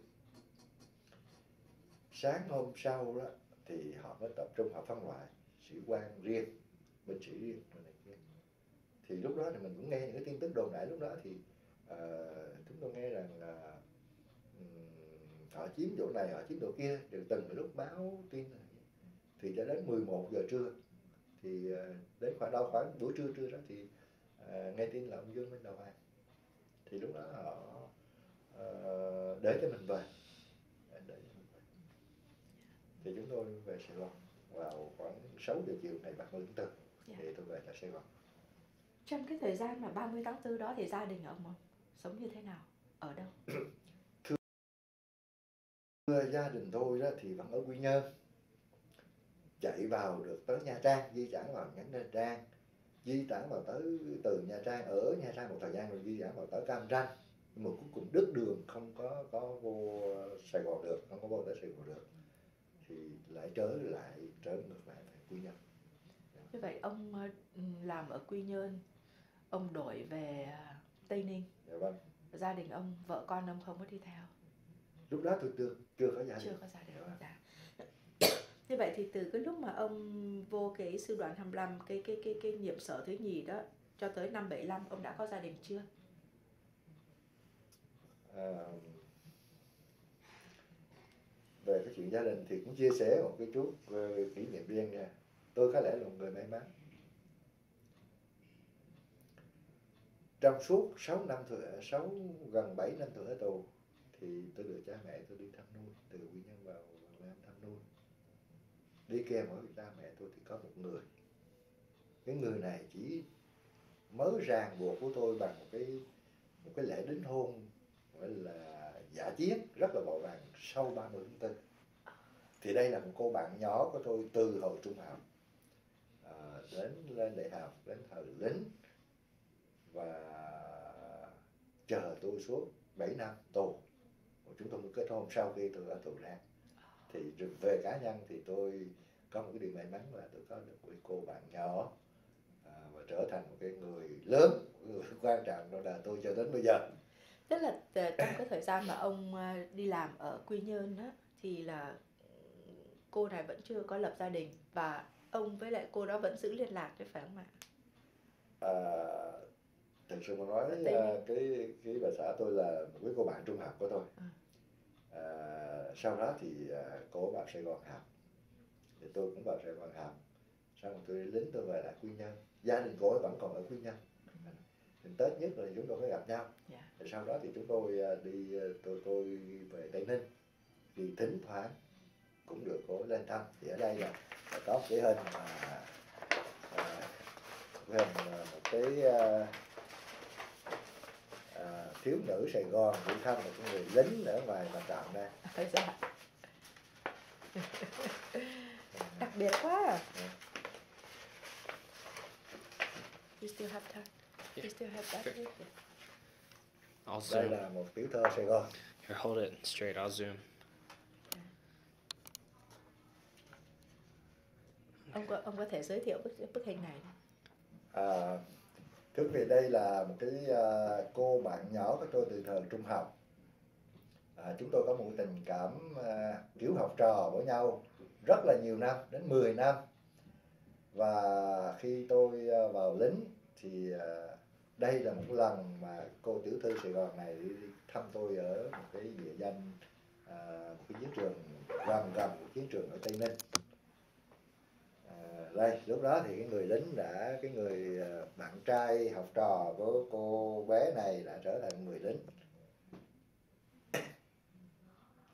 Rồi cảm ơn ông nhiều. Yeah, we still have đó như tôi vừa trình bày với chị là có lẽ là đây là một cái món quà trả lại cho tôi bởi vì uh, trong cái biến cố sau biến cố năm thì rất là nhiều gia đình đổ vỡ mặc dù có thể họ đã có con cái với nhau có nhiều kỷ niệm với nhau riêng cá nhân tôi thì chỉ là một cái cô bạn từ từ xưa thôi chưa có ràng buộc gì cả. Nhưng mà đã đi thăm tôi nuôi tôi ở tất cả các trại tù. Cho đến lúc tôi trở về thì chúng tôi mới thành công dạ. Um, thế là ông đã um, coi như là đã coi như là đã bị bắt đi uh, ngày 29 dạ. tháng 4 năm 1975 tại ừ, tại xã Tân Thới Nhì, xã Tân Thới Nhì, quận Hóc Môn. Dạ sau đó thì ông đã vào tù cải tạo 8 năm. Dạ 7 năm. 7 năm. Thì trong tù có cái gì đáng nhớ không? Đương nhiên là cực khổ, đương nhiên là ăn uống kham khổ và đương nhiên mình là cái người tù khổ sai rồi. Dạ, Nhưng vâng. mà giữa những anh em bạn tù, ông có cái gì cần chia sẻ không?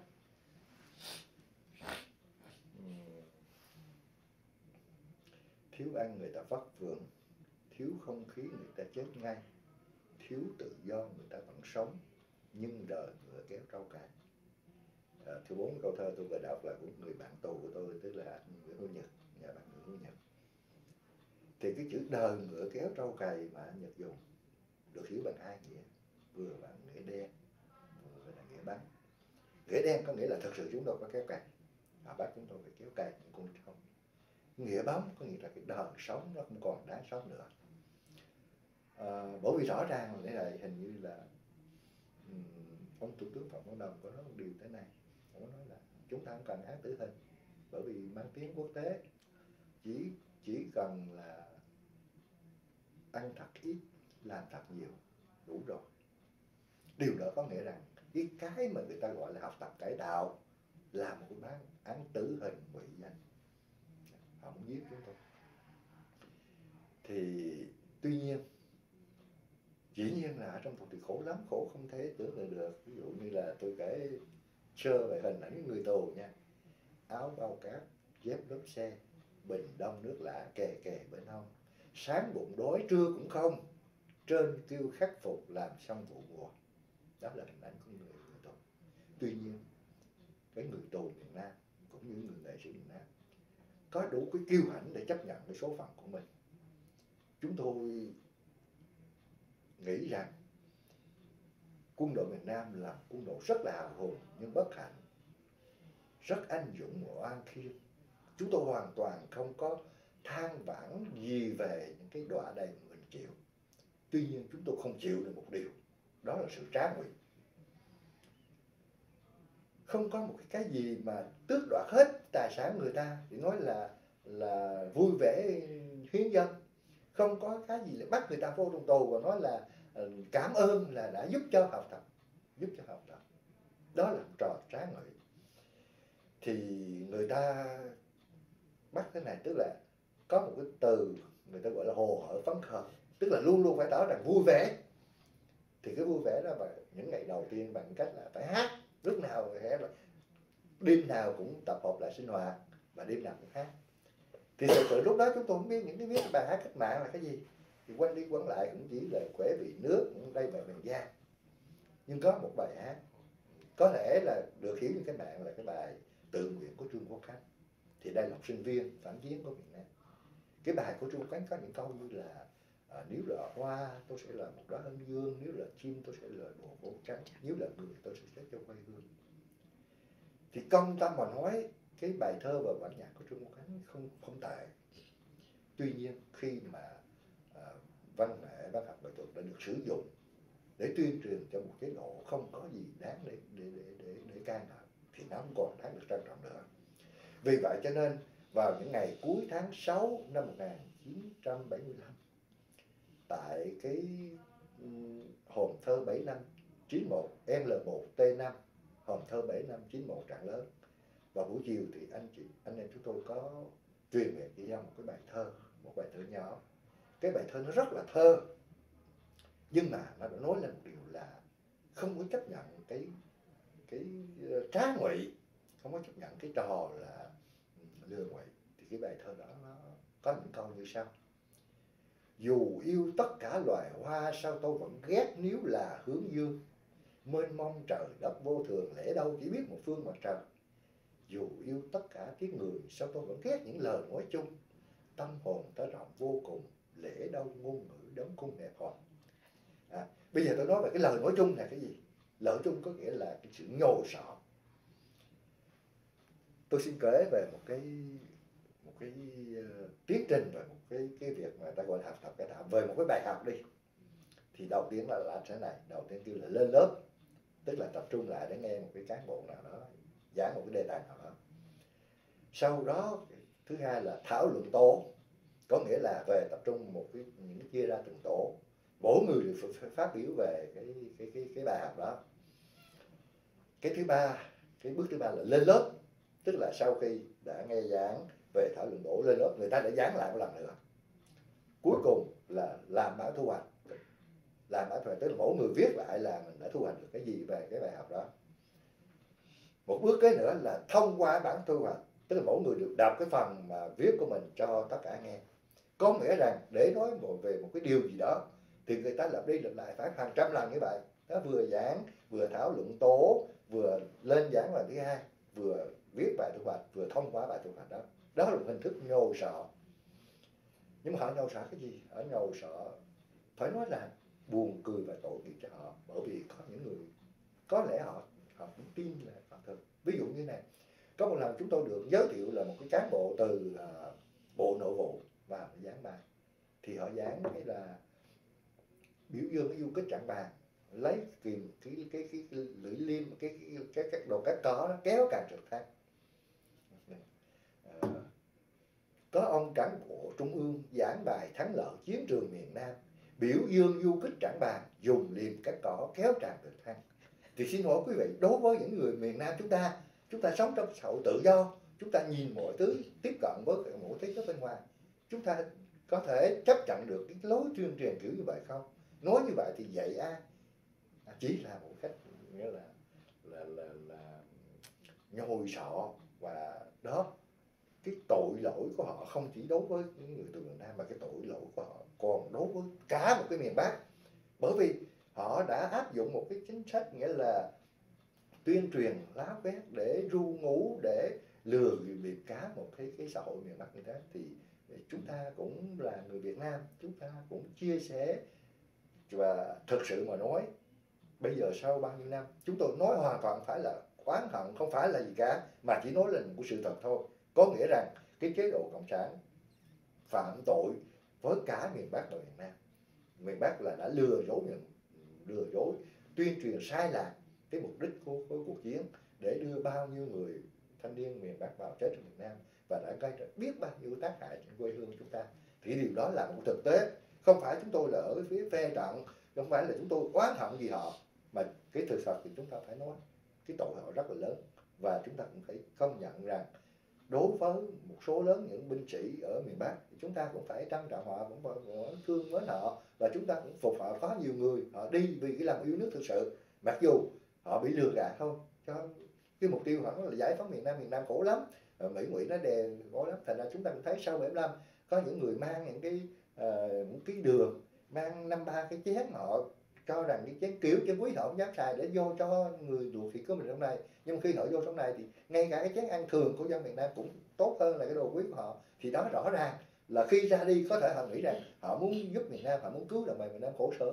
Nhưng mà họ đã bị lừa. Thì cái lỗi tội lỗi này phải thuộc về chế độ cộng sản. Um, thưa ông, à, bây giờ sau khi mà ông đi tù tù ra đó thì ông làm nghề gì đầu tiên? Ừ. nói về người, người tù về nha. Tù về còn nửa hàm răng nghèo mua rau muống già ăn đỡ lòng. Sợ dai nên cứ làm thầm ngẩng cổ mà nuốt đúng trầm của ngươi đúng trầm của ngươi. Thì đó là cái hình ảnh của người tù. Tuy nhiên phải nói là cái người Việt Nam mình lãng mạn lắm. Người à, uh, sĩ quan miền Nam rất là lãng mạn. Ví dụ như ông Tô Tự Yên ông biết rằng ta về dẫu phải đi chân đất khắp thế gian này để gặp em. Ờ, ờ, thì là đó nói chung là cái ngày về thì rất là cảm động. Cảm động. Bây giờ tôi kể một cái hình ảnh cái ngày về của, của tôi trước nhất trước khi mà trả lời câu cái chị lúc đó tôi đang ở một cái trại tên là trại Tống Lê Chân tức là trên đường quốc lộ 13 trên Bình Long nhưng mà cái cái đơn vị quản lý tôi thì vẫn là trại Tân Hiệp cho nên tôi từ Bình Long chỉ lại khu sản xuất thôi. Tôi phải về trại Tân Hiệp để để làm giấy tờ, để về. Thì hôm đó cái toán của tôi được khoảng chừng 10 người tức là từ từ tỉnh Tống Tranh về có bốn cán bộ, họ dẫn tôi đi, họ dẫn tôi đi. Thì khi ra đến quốc lộ từ trong rừng ra quốc lộ thì họ biểu là các anh ngồi trong, núp trong bụi. Họ ra họ đốn xe họ nói là các anh đốt thì xe nó không ngừng đâu. Nhưng họ đốt hoài không được họ đáng từ trưa cho tới gần chiều không có một xe nào ngừng cả. Thì cuối cùng họ vô nó biểu bọn tôi. Các anh đốt rồi thì chúng tôi đốt là xe xe họ ngừng ngay à, thì đó là những cái điều mình thấy rõ ràng là cái cái chính nghĩa thuộc vào đâu cái lòng thương mến của đồng bào đối với những người xa cơ những chiến hữu xa cơ như thế nào thì uh, khi mà tôi về đó thì cái chính sách của họ là không có muốn cho bất cứ một cái người nào mà từ các đảo về được tới thành phố. Cái cái đích mà họ muốn muốn đạt tới là đưa đi vùng kinh tế mới tức là đóng cứ đi hết đi ra khỏi thành phố. Thì tôi về thì lúc đó thì cái, cái cô bạn gái tôi đó có gia đình Gòn. Đã từ quy nhân vào Sài Gòn và không về lại quy nhân ở lại Sài Gòn luôn cho nên tôi cũng được tá túc đó mặc dù chưa chính thức. Sau đó một thời gian thì chúng tôi mới kết hôn. Thì có lẽ đối với tất cả mọi cái cái cái, cái người tù cải tạo ra để tránh phải phải đi kinh tế hóa thì cái việc mà phải làm là kiếm bất cứ một cái nghề gì ít nhất là không biết là có bảo vệ được mình không nhưng mà ít nhất dù sao có một cái nghề thì cũng còn hơn là không có gì. Không có gì là cái lý do mạnh nhất để mà nó tóm đi cái đó. Thì phải nói là làm đủ thứ này làm cái gì có ai hiểu gì làm đó. Thì um, khi đó thì ông làm nghề gì đầu tiên? Uh, tôi về thì uh, đầu tiên đó tôi không có làm nhưng mà um, tôi có một người bạn tù. Thì anh ta trước đã học và học ở trường kỹ thuật cao thắng. Thì có quen với một cái người cũng học cao thắng nhưng mà theo phía kia. Lúc đó đang có một cái anh ta đang coi cái nông trường dừa đỗ hòa. Cái nông trường dừa nó có tên là đỗ hòa. Nó ở mà ngã ba đồng tranh. Thì lúc đó thì tôi kết hợp giữa hai cái cái cái việc là vừa chọn kiếm cho mình cái nghề cũng vừa tìm được vượt biên. À, cho nên tôi mới được anh em giúp đỡ cho một cái ghe và tôi ký hợp đồng với năm trường dừa đỗ hòa. Cái nhiệm vụ của ghe tôi là chở những cái thực phẩm mua từ cái chợ chợ cầu muối chở ra ngã, ngã ba đồng tranh thì quá mình cái thứ nhất là có một cái nghề cái thứ hai là mình nghĩ là tìm cái đường đi nước bước. Vốn là một sĩ quan tác chiến mà mình cũng nghĩ rằng do giảm cái đường đi nước bước như thế nào thì lúc đó mình nghe nói là một viên mình cũng biết là nhưng mà cái ý chính vẫn là muốn tìm đường ra khỏi nước. Thì đầu tiên là đã nhờ cái sự giúp đỡ của người bạn. À, tôi có một cái ghe nhỏ chở hàng từ à, từ từ chợ cầu muối ra ngã ba đồng canh thì chúng tôi tạo cái hình ảnh thế này. Tức là ở ngoài đó có nhiều thanh niên xung phong thì mỗi một lần ghe tôi đi về tôi cho người thanh niên đi theo để cái hình ảnh mà những cái người xuống ghe ở chỗ chợ cầu muối trở thành là quen thuộc không phải là cái nghi ngờ gì cho ai. Thì từ chợ cầu muối chạy ra ngoài ngã ba đồng thì vượt qua cái trạm cái trạm nhà bè. Thì đầu tiên cũng phải vô trình giấy rồi kia nhưng mà sau đó thì thấy nó, nó cũng quen với cái ghe này thì coi như là ghe của thanh niên trung phong. Thành ra chúng tôi cũng khỏi phải trình cái trạm trạm nhà bè. Cứ đi như vậy nhiều cái thì cái dự lý của tôi không có có tình hành được bởi vì à, mình nhớ về kỹ thuật. Cái cái phương tiện không không không bảo đảm. Cái cái chuẩn bị tâm lý cho cái giới vượt biên thì là cỡ như là đạt nhưng mà cái kỹ thuật mình cũng đạt cho nên cái việc đã không thành. Nhưng mà cái việc đầu tiên tôi làm là là kiểu như là à, công nhân hợp đồng. Cái cái mà để báo phường phường khóm á là công nhân hợp đồng của nhân nông trường dừa đổ hoa thế thì từ sau khi được về lại với gia đình đó thì ông ở với gia đình được bao lâu? Rồi ông đi vượt biên và thành công? Uhm... tôi vượt biên rất là nhiều lần. Tức là khoảng từ năm 8 năm. Cái sau khi sau khi ra tù 8 năm thì tôi mới vượt biên được. Vượt biên rất là trải tràng thì lúc mà tôi vượt biên thì uh, tất cả các đảo vùng đông á họ đều là đóng cửa đảo có một cái chương trình gọi là chương trình hành động tổng hợp của vũ cao tị nạn liên quốc ký với các cái quốc gia vùng đông nam á về một cái một cái uh, kế hoạch là chấm dứt cái vấn đề người tị nạn cho nên họ gọi là đóng cửa đảo tức là khi đó cũng chưa có cái chương trình HO phải không ạ? Chúng tôi đã có nghe tới cái chương HO rồi nhưng mà hoàn toàn không có tin tưởng được là nó Sao có chương trình như vậy là không chờ được. Không chờ. Và ông đi. Và ông đã đi thành công cái chuyến cuối cùng vào năm nào, tháng nào? Cuối cùng mà vào tháng 3 năm 1989. 89. Và ông đã đến uh, đâu? Thái Lan hay Mã Lai? Đến Pulau Pidong. Đến Pulau Pidong. Ông ở đảo bao Nhưng lâu? mà ừ, cho phép tôi có thể nói Dạ, lại về chiến tranh một chút không? Dạ, dạ. Trước khi nói về cái này. Dạ, dạ. À, tôi chỉ muốn nói một điều thế này đó như tôi đã vừa trình bày tôi là người lính. Tôi là người tù rất là cực nhọc bị đoạn này rất là nhiều. Tuy nhiên 35 năm đã trôi qua rồi. Cái lòng của chúng ta đã trùng trùng lắng lại rồi.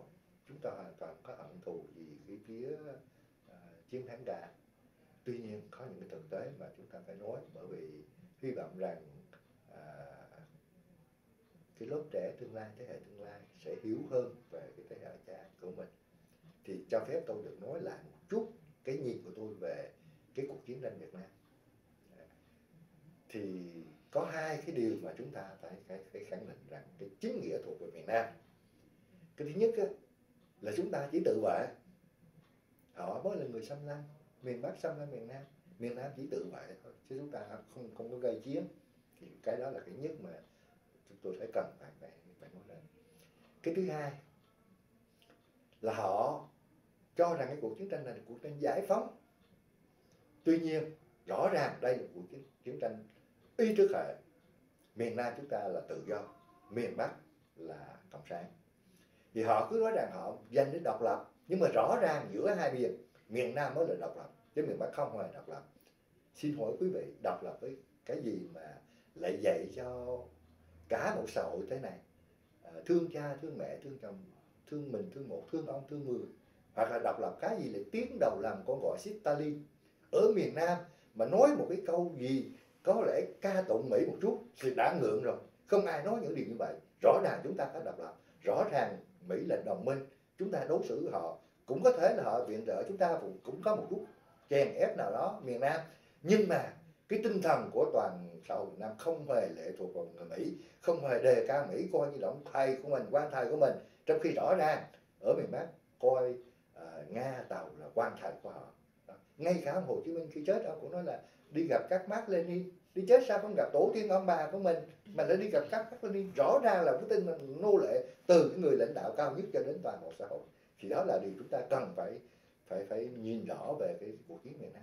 Còn rõ ràng là chúng ta chỉ tự vệ thôi mà. Chúng ta có đi đánh họ, chúng ta có phải xâm lược họ đâu? Họ xâm lược chúng ta.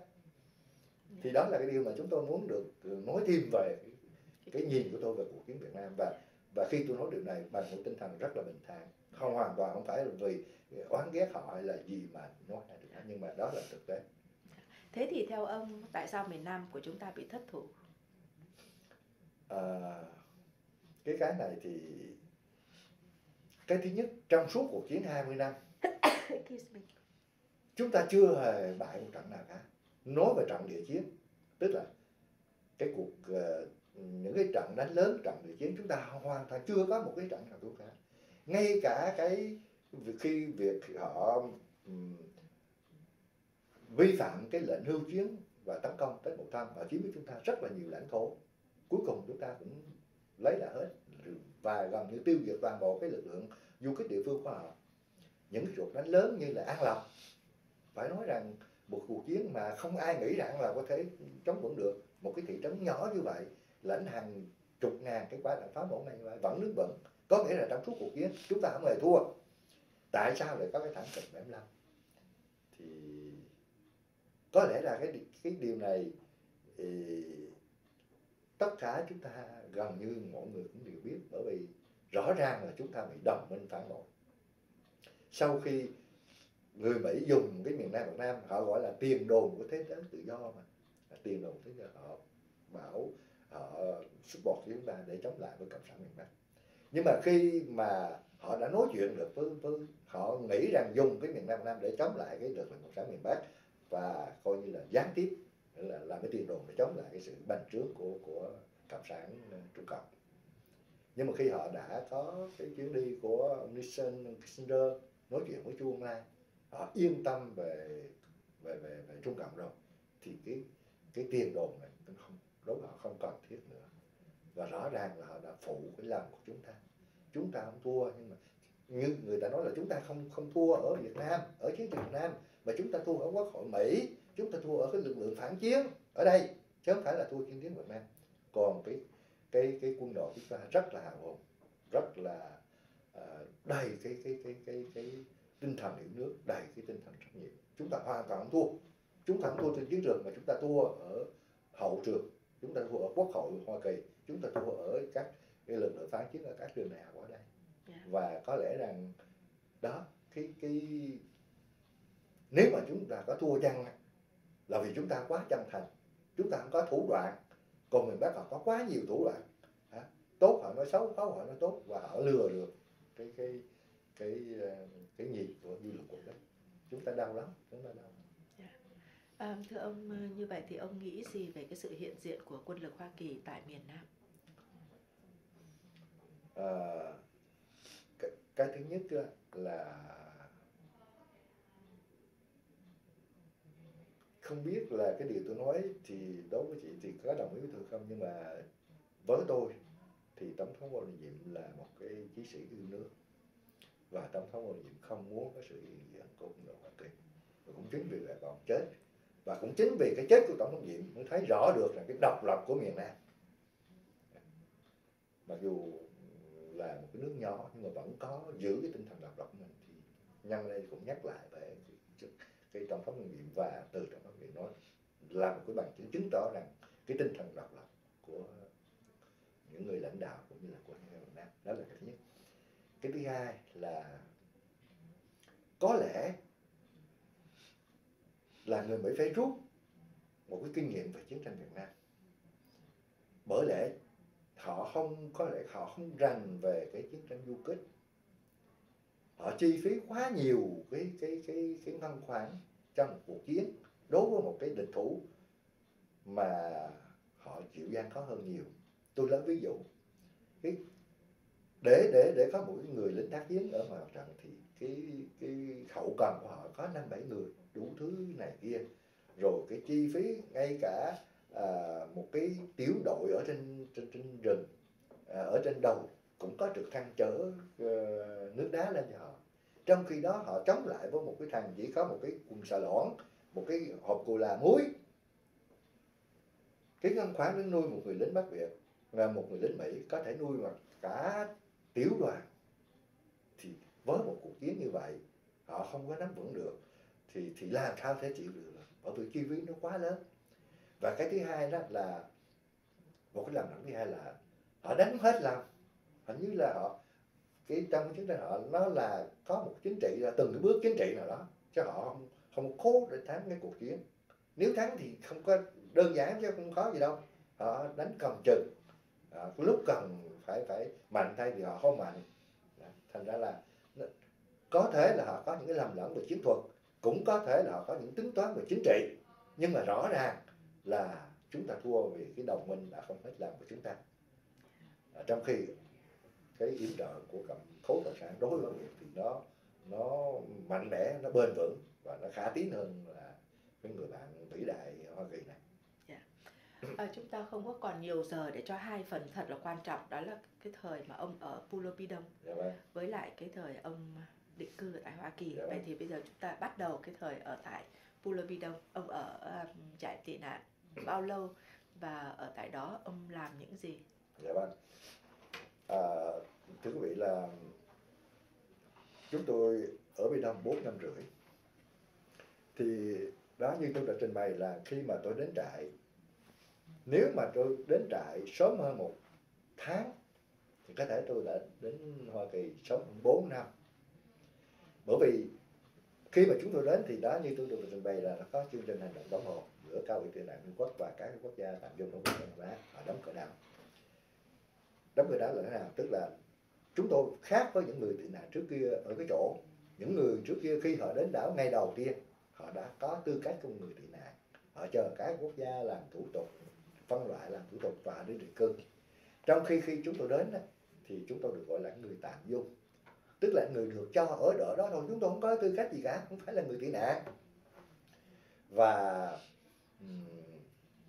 cái các quốc gia tham dụng đó họ thành lập những cái phái đoàn thành lập. Để thành lập những phái đoàn này thì họ phải đưa những cái sĩ quan tình báo về Việt Nam để họ uh, sống ở đó họ lượng giá cái, cái sinh hoạt xã hội về chính trị rồi thứ người kia để họ lượng giá cái lời khai của mình. Thành ra hai năm sau khi đóng cửa đảo thì mới bắt đầu phỏng vấn thành lập những cái tàu đầu tiên thì một cái cuộc phỏng vấn một cái gây phỏng vấn vậy nó nó nó kéo dài khoảng từ 6 đến 8 tiếng đồng hồ. Và cái câu hỏi chính nhất họ muốn biết là cái lý do rời Việt Nam. Tức là họ yêu cầu chúng ta phải chứng minh cái tư cách tị nạn của mình. Nó phù hợp với cái luật tị nạn năm 9 cũng như cái nghị định thư năm 67 về cái luật tị nạn. Họ cho rằng à, chúng ta là những người dư dân kinh tế người ai sẽ trong phải được tị nạn thì phải phải chứng minh tư cách tị nạn của mình thì sau khi, sau 2 năm đến đại mới được phỏng vấn, và sau khi phỏng vấn thì khoảng 2 năm sau khi phỏng vấn, họ công bố kết quả thành lập. Tức là mất khoảng 4 năm. Thì cái lúc này, lúc công bố này đã tùy cái tàu. Có tàu được nhận nhiều, có tàu được nhận ít. Nhưng mà trung bình là khoảng 15% số người được phỏng vấn, được công nhận tư cách tị nạn. Thì cái lúc đó, cái người nào được được được chấp nhận tư cách tị nạn đó, mới bằng những cái người trước kia, ngày đầu tiên họ đến đảo. Lúc đó mới là người tị nạn. Đó. còn cái thành phần còn lại đó, những người rớt, tức là 85% cái số người mà không được cái tị nạn đó, thì còn một cơ hội thứ hai, tức là làm một cái đơn xin tái cứu xét, trình bày tất cả cái hoàn cảnh của mình để chứng minh tư cách tị nạn của mình. Và họ sẽ cứu xét cái cái đơn xin tái cứu xét này. Khoảng 5% được công nhận nữa, tức là tổng cộng hai lần, một lần công bố kết quả chính thức và một lần cứu xét các cái đơn à, xin tái cứu xét thì được 20% số người à, đến đã, các đảo trại được cập nhận được các tị nạn thì cái số người còn lại đó thì họ khuyến khích hồi hương tình nguyện hồi hương. Nếu ai không tình nguyện thì họ cưỡng bức hồi hương. Thì nó cũng có một cái chương trình là uh, những người nào mà làm theo cái lời khuyên của các bạn quá hồi hương đúng theo cái, cái ngày giờ họ định thì về Việt Nam họ cũng cứu xét cho đến đây một cái số người gọi là cái chương trình rô gì đó. Còn phần lớn á, là không tin được được. Đã đến đây rồi cũng không cho đi bây giờ nói chuyện là về Việt Nam rồi cho đi thì thì làm sao tin được? Thì là họ họ không có về. Và những số này thì khi họ cưỡng bước về thì họ không không cứu xét nữa. Thì đã có rất là nhiều những người tự sát có rất nhiều cái cuộc biểu tình để là uh, chống lại cuộc thanh lọc bất công ở các trại thì ở đây có lẽ là gì thì nó không có thì giờ cho nên tôi xin phép được trình bày một vài cái ý kiến của tôi về cái điều gì phải cần nói về cái giai đoạn mà mà mà tị nạn trẻ đa này. Cái thứ nhất là đời sống rất là khổ. Bởi vì cùng một diện tích như vậy ngày xưa thì chỉ đến đảo thời gian người ta giải quyết đi các trại đi định cư các nước. Cái cùng một diện tích à, cư trú như vậy mà cái số người tăng lên cấp 2, cấp 3 cùng ở trong cùng một diện tích như vậy thành ra là những cái nhà ở bi đông view là long hao là nhà thì phải đào một cái tầng hầm ở dưới coi như là cái tầng hầm. Rồi ở giữa thì có một cái căn ờ, ở trên thì có căn gác lớn, nhưng mà cái tầng giữa đó người ta cũng làm thêm một căn nữa. Thành ra là đi thì lông khôn đứng đứng thẳng không được, bởi vì cái diện tích nó không đủ cao để đứng thẳng người. Thành ra là một cái cái cái lâm hao vậy thành là bốn tuần tức là trên tầng tầng, là tầng tầng dưới tầng hầm, bốn tuần ở trong một diện tích như vậy. Đời sống rất là khổ. Tuy nhiên cái điều mà tôi rất là hãnh diện về cái tập thể người Mỹ Đông cũng như có lẽ là đối với người Việt Nam chúng ta. Cái tinh thần chịu khó chịu khổ cái tinh thần lạc quan vui sống cái tinh thần để là uh, nỗ lực để để để để hướng tới tương lai cũng như cái tinh thần yêu chuộng tự do dân chủ. Thì chúng tôi nói rằng ở Bi Đông có hai cái lần biểu tình một lần 4 ngày tuyệt thực biểu tình một lần 17 ngày mỗi lần thế thì tất cả những cái người ờ, tham gia biểu tình đều đeo một cái cái cái cái, cái băng tang ở trên đầu ở trên đó có ghi chữ là uh, tự do hay là chết. Mười vạn rồi. Và cái người ở Bi Đông khi mà biết cái hoàn cảnh của mình phải ở lại lâu dài ở đó thì dĩ nhiên là có buồn chứ. Nhưng mà không có nản lòng không thất vọng. Chúng ta xây dựng một cộng đồng để, để tự mình nghĩa là dìu dắt nhau tự mình bảo bọc nhau và cùng hướng đến tương lai. Ví dụ như ở Bi Đông chúng tôi đã có những cuộc bầu cử công khai để chọn cái hội đồng đại diện. Chúng tôi có đủ mọi sinh hoạt như là thể thao văn nghệ báo chí triển lãm văn hóa. Nói chung là vừa làm vui để cho qua ngày tháng vừa phải xây dựng. À, chúng tôi có những trường học à, song ngữ về Việt và, và Anh văn trường trung học trường tiểu học trường huấn nghệ tất cả những cái đó đều do người tị nạn Việt Nam tổ chức và điều hành. Và đó như tôi có mang đến cho quý vị là một số những cái hình ảnh à, những cái báo chí vừa như là một, à, một cái phương tiện để um, giải trí vừa là một cái phương tiện để giáo dục. Và um, rất là nhiều những cái cái cái cái sự phấn đấu của của của của cái chúng ta để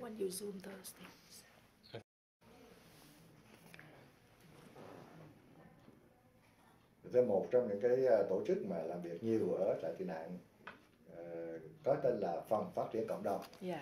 thì chúng tôi ở trong đó có cái trường huấn nghệ uh, có những cái sinh hoạt về thể thao về báo chí về văn nghệ. Thì đây là những cái tờ báo quay Romeo được làm ở Bi Đông.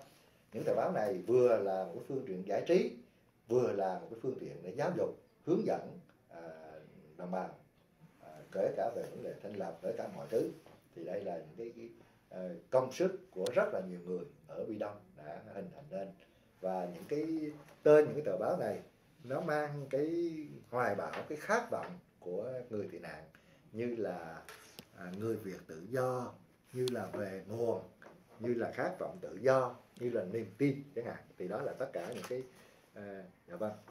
Ờ, có cái hình ảnh này thì à, có lẽ rất là nhiều người trong chúng ta biết và khi nhìn đến nó là xúc động đây là cái tượng à, gọi là ông già bị Đông người ta tin rằng cái vị này là một cái vị thần đã bảo bọc cho cái người bị Đông Dạ.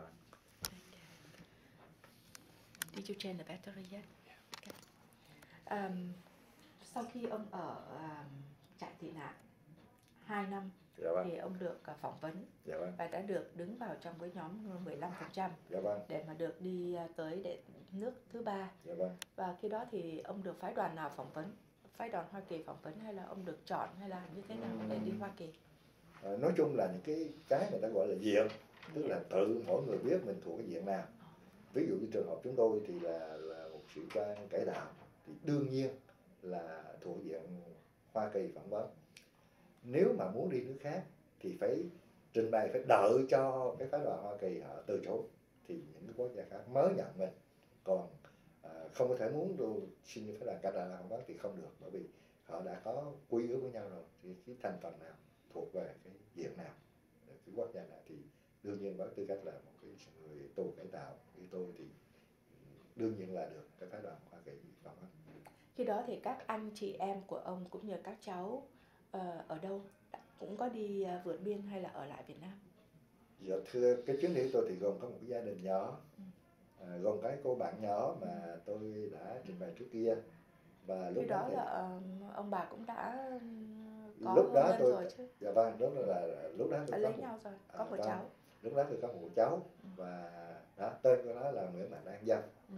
à, Ừ. tôi lấy cái tên của cháu là Vũ Kiều Dạ. thì lúc đến nào cháu được 4 tuổi thì khi đó thì các anh chị anh chị em của ông và các cháu có thưa cái ờ, cái chuyến đi của tôi thì cũng có trở ngại lắm, bởi vì chuyến đi của tôi người ta bốc người từ trên Sài Gòn. Tức là cứ một cái ghe nhỏ ở dưới Bà Rịa lên trên này, họ đón một cái hai người ở Sài Gòn đưa xuống Bà Rịa. Cái ghe lớn ở Bà Rịa. Ờ, và một, trên một cái lộ trên dài như vậy từ nhà bè mà xuống Bà Rịa thì có nhiều cái cái ờ, cái trạm gác. Thành ra là rất là nhiều gia đình bị bị xé lẻ ra có người đi được có người đến được. Lúc đó thì không còn cái thời gian để quyết định. Ví dụ thiếu người thì cũng phải lên cái tàu lớn để đi thôi. Được ai thì được. Thành ra có có nhiều cảnh đau lòng. Và có lẽ cho phép tôi được nói một chút về về cái cái cái, ờ, cái lý do tị nạn tại sao chúng ta phải đi. Thì đó chúng ta vẫn à, bị tuyên truyền rằng những cái người này là nghĩa là chạy theo đế quốc Mỹ ăn bơ thừa sữa cặn này, này kia nhưng mà xin thưa hoàn toàn không đúng. Không đúng ở chỗ nào. Cái thứ nhất cái tinh thần yêu nước và cái, cái giáo dục của miền Nam đã dạy người ta một cái tinh thần yêu nước. Bằng chứng là trước năm 1975 chúng ta có rất nhiều người đi du học ở nước ngoài. Sau khi hoàn tất cái học trình họ đều trở về phục vụ đất nước. Mặc dù có nhiều người trở về chỉ để vô trong trong quân ngũ mặc dù ở ngoài họ có thể lãnh lương gấp 10 gấp nhiều lần như thế. Và nhiều người về là trong vô trong quân ngũ ngay mà chịu một cái đời sống nghĩa là làm việc 24 trên 4 đem cái mạng sống của mình để bảo vệ đất nước như vậy mà người ta vẫn trở về. Rất ít hoặc là không có người nào tìm cách ở lại nước ngoài sau khi đã tốt nghiệp. Đó là cái nhất. Cái bằng chứng thứ hai là vào năm 1975 có một chiếc tàu kêu là Việt Nam Thương Tín gồm có khoảng 1.600 người họ đã ở được nước ngoài họ trở về. Vì cái gì? Vì yêu tổ quốc vì yêu quê hương vì muốn xây dựng đất nước nhưng mà tất cả những người trở về này thế nào? Họ không về tới nhà. Ghe vừa về tới ờ, Vũng Tàu quay phim chụp hình để tuyên truyền xong rồi tất cả vô tục. Và tất cả những người đó bây giờ mới tìm cách để đi trở lại. Thì hai cái cái cái cái cái cái um, cái ví dụ nhỏ tôi vừa nói tức là những người du học trước 75 và những người trở về với tàu Việt Nam đều là chứng tỏ rằng cái tinh thần của người miền Nam luôn luôn yêu tổ quốc của mình luôn luôn muốn xây dựng tổ quốc của mình chứ không phải không phải tìm cái cái sung sướng ở nước ngoài, bỏ quê hương của mình. Và đó, thì điều đó điều đó tức đó là cái sự thương hiệu họ là sai, họ là một chế độ mà nhân dân Việt Nam đã bỏ phiếu bằng chân nhiều lần. Lần thứ nhất là năm 1954 hàng triệu người vào Nam. Lần thứ hai là cái trường viên. Và trong suốt cuộc chiến không biết bao nhiêu lần những cuộc bỏ phiếu bằng chân như là cái cuộc uh, như là người ta quán trị chạy đến tỉnh lộ 7 à, chạy trên uh, đại lộ Khánh Hòa hoặc là người căn nguyên chạy tỉnh lộ 7 tức là đã rất là nhiều lần trong tất cả cuộc chiến. Người dân đều chạy về phía quân lực và Đảng Hòa không có người nào chạy về phía gọi là vùng giải phóng ca thì điều đó chứng tỏ rằng cái lời tuyên truyền họ là hoàn toàn sai hoàn toàn không đúng. Vì họ vì một cái chế độ phi nhân mà chúng ta phải đi. Và tôi xin đọc cái bài thơ để nói về việc nói anh em chúng tôi tại sao đi anh em chúng tôi, những người Việt Nam mất nước, chúng tôi mất quê hương nhưng thừa đảm lược chúng tôi mất tự do nhưng dư nhân phẩm làm người. Ôi những con người thừa mứa an vui, hiểu sao được dân tôi khổ đau và kiêu hãnh. Chúng tôi có trái tim nồng nàn ngay thẳng, chúng tôi có trái tim bất khuất quả cường. Có xá gì một chút áo cơm, người ta nói mình là để kiếm cơm. Có tiếc gì một chút sống thừa nhục nhã. Ngày hôm nay chúng tôi muốn thét to cùng tất cả, chúng tôi là con người. Bao năm rồi vì thế giới an vui đã dặn cho mình vòng ca khổ hận. 20 năm đâu tiếc máu xương ngoài mặt trận 15 năm nào thiếu hùng tâm nơi chúng một cụ có ai như chúng tôi xứng đáng làm người? Có ai như chúng tôi dám đổi tự do bằng mạng sống? Chúng tôi ngẩng cao đầu giữa trời, cao đất rộng, hỏi khắp năm châu sâu ngoảnh mặt làm dụng thì cái bà, thơ này dùng trong một lần đấu tranh ở Bi Đông để nói rằng chúng tôi không phải đi vì miếng cơm manh áo đâu, quý vị nói vậy là sai à, như vậy thì ông sang Hoa Kỳ năm nào? À, năm 93 năm 93 thì cái cảm giác của ông khi đặt chân tới Hoa Kỳ như thế nào? Um, khi đặt chân tới Hoa, Hoa Kỳ thì đại khái là mình cũng đã có mường tượng được với cuộc sống nhưng mà tôi có một kỷ niệm. Sau khi đến Hoa Kỳ hai tháng thì tôi mới có một kỷ niệm rất là xúc động. Bởi vì khi mà ở Bi Đông đó à, khi mà thằng cháu thì con tôi nó nó sinh hoạt ở cái phòng mà ở cái cái nhóm thiếu nhi. Thì có một cố vấn người Mỹ ở đó. Khi đó cái người cố vấn này biết cháu đi Phoenix Arizona. Thì cái người này mới nói ta cũng là người Phoenix dẫn tới gặp cha mẹ mẹ đi. Thì thằng con tôi dẫn cái người cố vấn nó về gặp tôi. Và ông ta nói rằng ông ta là người Phoenix. À, cho ông ta biết địa chỉ ông ta ghé thăm. Thì tôi cho địa chỉ của người chị tôi ở Phoenix Arizona thì lúc mà cho cái địa chỉ đấy tôi cũng nghĩ rằng à thì nói cho ngoại giao cho nó vui vẻ thôi, chứ tôi không nghĩ rằng có người đến thăm mình ở Phoenix nhưng mà khoảng hai tháng sau khi tôi đến Phoenix thì một ngày kia có người gõ cửa, và khi tôi mở cửa ra thì cả một gia đình, họ đón thì cái đó tôi rất là cảm động mừng hồi giờ mình cứ nghĩ rằng chỉ có người Á Đông mình mới có nặng cái tình quê hương ở đằng này kia. Còn đằng này rõ ràng xứ Mỹ họ cũng có cái, một cái cái tình quê hương phải là dân Phoenix là là fan của tao. Ờ, thì đó là cái cái ấn tượng đầu tiên mà tôi tôi cảm động về về về, về, về nước Mỹ. Cái thứ hai là một ông chú của tôi. Thì khi tôi nói đây tôi làm cho một ông chủ người Mỹ để làm về uh, cái ờ, wood line tức là cái mảnh thừa. Thì nói chung là đối đối tôi rất là, là tốt. Nghĩ tôi là kỹ sư bởi vì mình có cái, cái chịu khó chịu khổ cái tính toán của con người khổ của mình thì có lợi cho họ vô cùng. Ví dụ như một cái cái thanh gỗ dài này mình phải tính thế nào? Nó có nhiều cái cái loại, cái cỡ khác nhau. Thì nếu người mà ấu thì cứ cắt đại, có cái nào thì cắt đại được, còn không dư thì bỏ. Nhưng mà mình với những cái tính toán lại rất là có lợi cho công ty. Cho nên họ, ông nên ông ta đã dành cho một cảm tình đặc biệt. Thì ờ, ông ba có chở tới, lúc mà tôi ở một cái áp apartment một phòng ngủ, còn cả hai vợ chồng đứa con, thì ông ta chở tới một cái bộ bàn ăn cũ của gia đình ông ta với bàn vuông vậy bốn ghế. Thì tôi sử dụng sử dụng khoảng bốn năm sau thì cháu ra trường học ra trường trung học bốn năm năm sau vậy thì cháu ra trường có một cái cái cái cái, cái kết quả rất là khá. Được báo huy tâm cô này đăng hình là rất nhiều học bổng thì lúc đó tôi mới tới tôi nói với người chủ tôi lúc đó như là bạn tôi nói là mày có biết con tao học ở đâu không? Cái bàn mà cho tao đó. Cái bàn đó cả gia đình ta dùng đủ chuyện khác ăn cơm cũng đó đọc sách cũng đó làm gì cũng đó. Rồi khi ăn xong rồi thì cháu mới trái tờ báo lên phản ngồi thế nào bây giờ kết quả nó là vậy. Thì ta rất là xúc động. Sau đó thì tôi có lúc đó tôi đi một cái xe Resida N83 ừ, nhưng mà tôi mua cho cháu cái cái Civic là 201 tôi lái tới thì chủ tôi nó hỏi là cái này mày đi mà cho cái xe cũ cho con mà hả? Tôi nói không cái này con tao tao đi xe cũ. Nó thấy tại sao nhỉ tại sao mà đi xe mới mà mình lên đưa cái kiểu thì tôi mới nói là cái um, văn hóa Việt Nam là cha mẹ lo cho con cho đến chết ta không có thể sẵn sàng đứng cái xe hơi đứng trên xa lộ suốt đêm nhưng mà còn ta không thể chịu được. Nếu con tao như vậy thì tôi nói điều này để nói rằng à, tức là mình vẫn tìm mọi cách để nói với người bạn xứ hiểu về cái người mình như thế nào cái đối với à, à, gia đình trong cái, à, cái văn hóa của chúng ta là như thế nào. Đó là cái sự quan tâm của cha mẹ đối với thế hệ con cái. Um, ông mua căn nhà đầu tiên vào năm nào và ai giúp đỡ ông? Tôi mua căn nhà đầu tiên cách đây uh, 7 năm tức là tôi đến đây khoảng hơn 10 năm thì uh, thì thì uh, thì tôi mua cái nhà đó. Thì dĩ nhiên là chỉ đau được ít thôi không trả cầm đến tới bây giờ. Ngay bây giờ thì ông có mấy cháu? vẫn có một cháu. Có một cháu À, bởi vì sau đó thì ở Việt Đông nó khổ quá bốn năm rưỡi đó. Thì khi mà đến đây thì cũng đã lớn tuổi quá. Nên là đó mình ăn dân đó thôi. Ờm, như vậy thì cái nghề đầu tiên của ông là làm cái động. line. Dạ. Để cho tới bây giờ. không ờ, khoảng 6 sáu bảy năm thì ờ, tiếp đến thì tôi làm ờ, chơi với người không được thì chơi suốt vật tức là uh, kêu là animal care tức là làm trong mấy cái resort của, của Belo ở đây Dạ. rồi Cho đủ thứ chuyện tào lao Dạ. đó là cái nghề kiếm ăn làm chuyện tào lao thì nhiều lắm Nhưng mà được biết thì ở tại Thì- hải ngoại ông cũng đã viết rất là nhiều tác phẩm Dạ nổi vâng. tiếng. Thì giờ ở đâu để ông viết?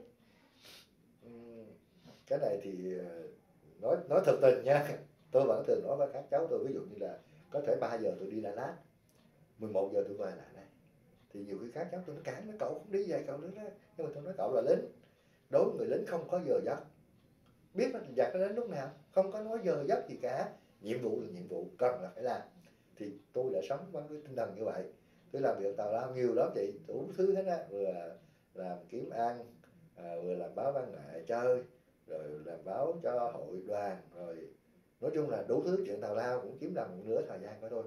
Nhưng mà à, nhân đây nếu mà cái, cái chúng ta nói giới trẻ thì nhân đây tôi cũng xin nói kể một kỷ niệm riêng của tôi.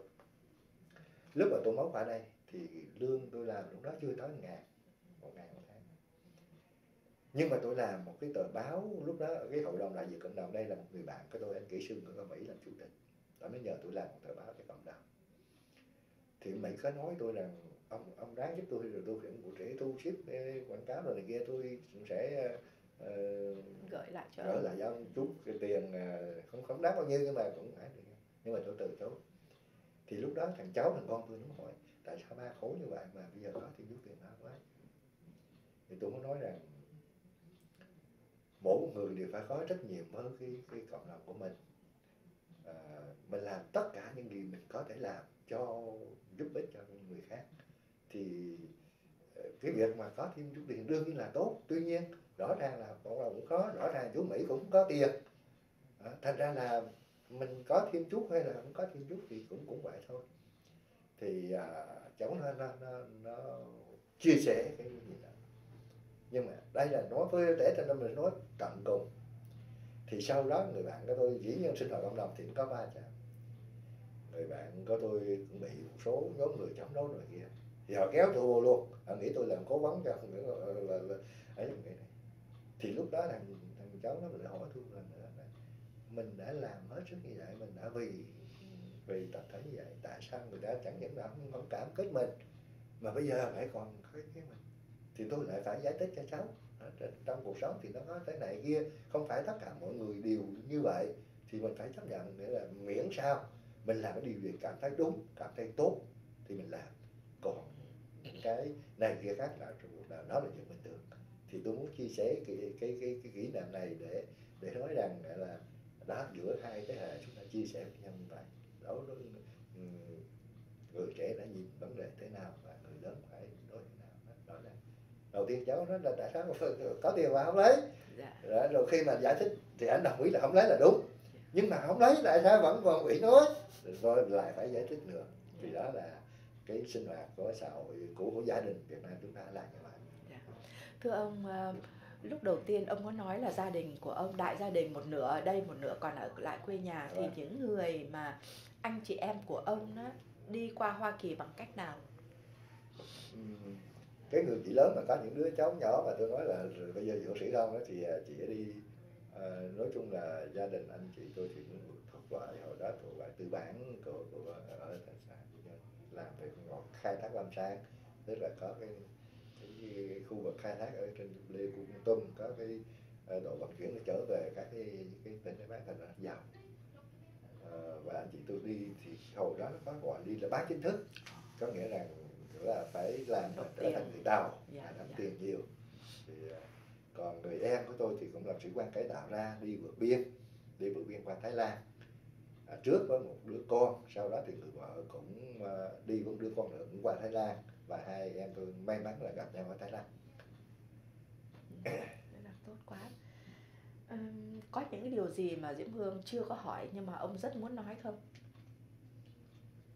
À, có lẽ là những điều tôi muốn nói thì tôi đã xin phép con đã tôi nói rồi. Cái điều tôi muốn nói nhất là nhìn lại cuộc chiến tranh Việt Nam.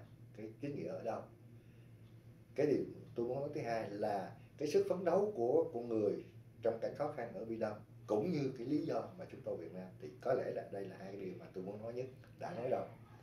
Dạ. À, như vậy thì cái buổi à, phỏng vấn xin được chấm dứt ở đây. Và Diễm Hương cũng xin cảm ơn nhà văn Nguyễn Mạnh An Dân đã nhận lời của Hội Bảo toàn Văn hóa và Lịch sử à, người Mỹ gốc Việt để đến đây để chia sẻ tất cả những cái um, kinh nghiệm của cuộc đời từ cái thuở ấu thơ, từ của gia đình cho tới đại gia đình tới tổ quốc. Và lúc nào cũng cho à, thế hệ sau biết được cái cái cái cái chính nghĩa của mình cũng như là cái sức sống và cái lòng tự tin à, luôn luôn vươn lên của người Việt. Xin cảm ơn ông nhiều. Dạ vâng, Dạ.